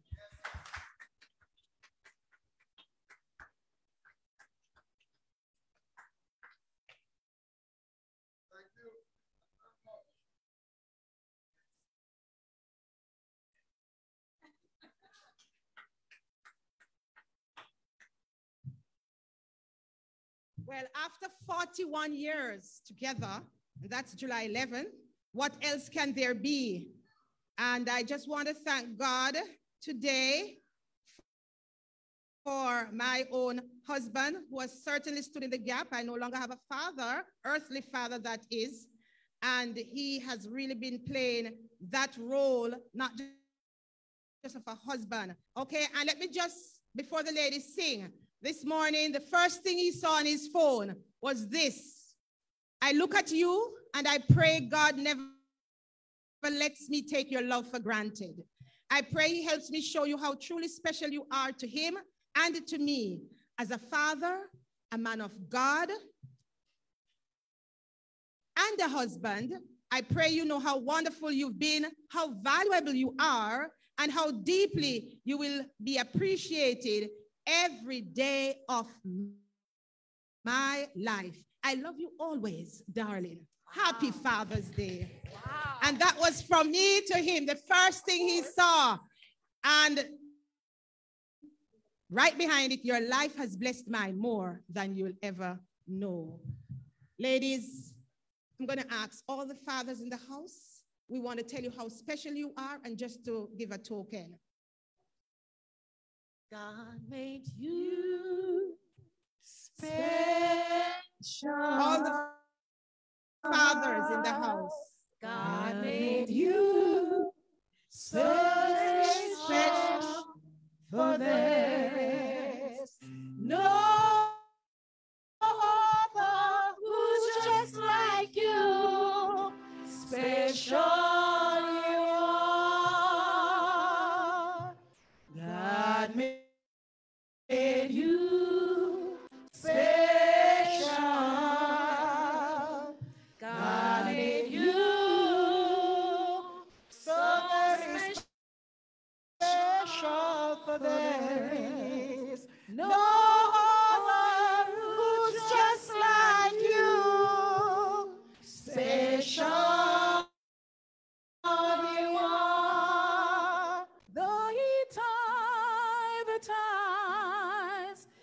that breathe into your heart and mind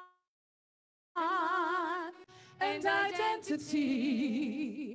Your kind of star set you apart. Be, Be yourself. Each heart is for God's design.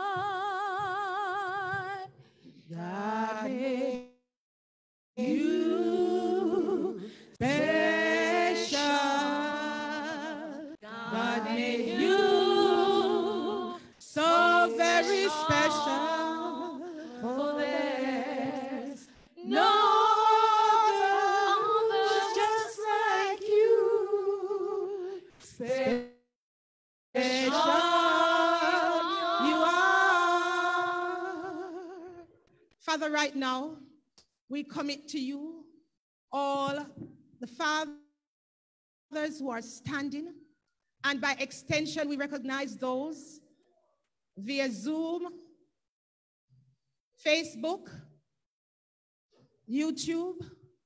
We pray a special blessing on every father, every father present we pray, God, that you will continue to give them the strength uh, and the vision and the sense of leadership that they ought to exhibit in their homes and wherever they are. Thank you, God, for these men that you have provided for us. Thank you for the protection, for the guidance, for the provisions that they have have been given to their wives, their spouses, and their children. We pray, Lord, that you will bless them in a very special way, a double portion on them. Continue to give them, Lord, the strength. Open up doors of opportunities, Lord, that they will be able, Lord, to provide and be that God example, be the priest for their families, Lord, that you have in your holy scriptures laid down for them, Lord, to really lead and to follow. So we thank you, God, for them. And we just pray, God, that for the rest of this day, they will feel extra special and not just today, Lord, but every day of their lives. May they not be taken for granted by the woman, but Lord, may we continue to shower down love. May we continue to stand by them. May we can continue to be that support for them as we allow them, Lord, to be the fathers and the men that they ought to be. Thank you, Lord, for every one of them. Crown them, Lord, with every blessing from above. And we thank you, Lord, for the anointing that you're going to be placing upon their lives. We're going to see men in this church, Lord, rise up. We're going to see men taking their stand. We're going to see men leading the role in the name of Jesus. Father, we commit them to you. Yes, Lord. Now and forevermore. And God's people say, Amen. Amen. Amen. Hallelujah. As we go, I want you to remember Sister Janet, Sister Janet Williams. Her father has left her. I want you to remember her in your prayers. As Arthur has been a good uh, person and uh, he has passed on. Please remember Brother Bolin. He is not well, had to rush to the doctor today. Please remember him in your prayer.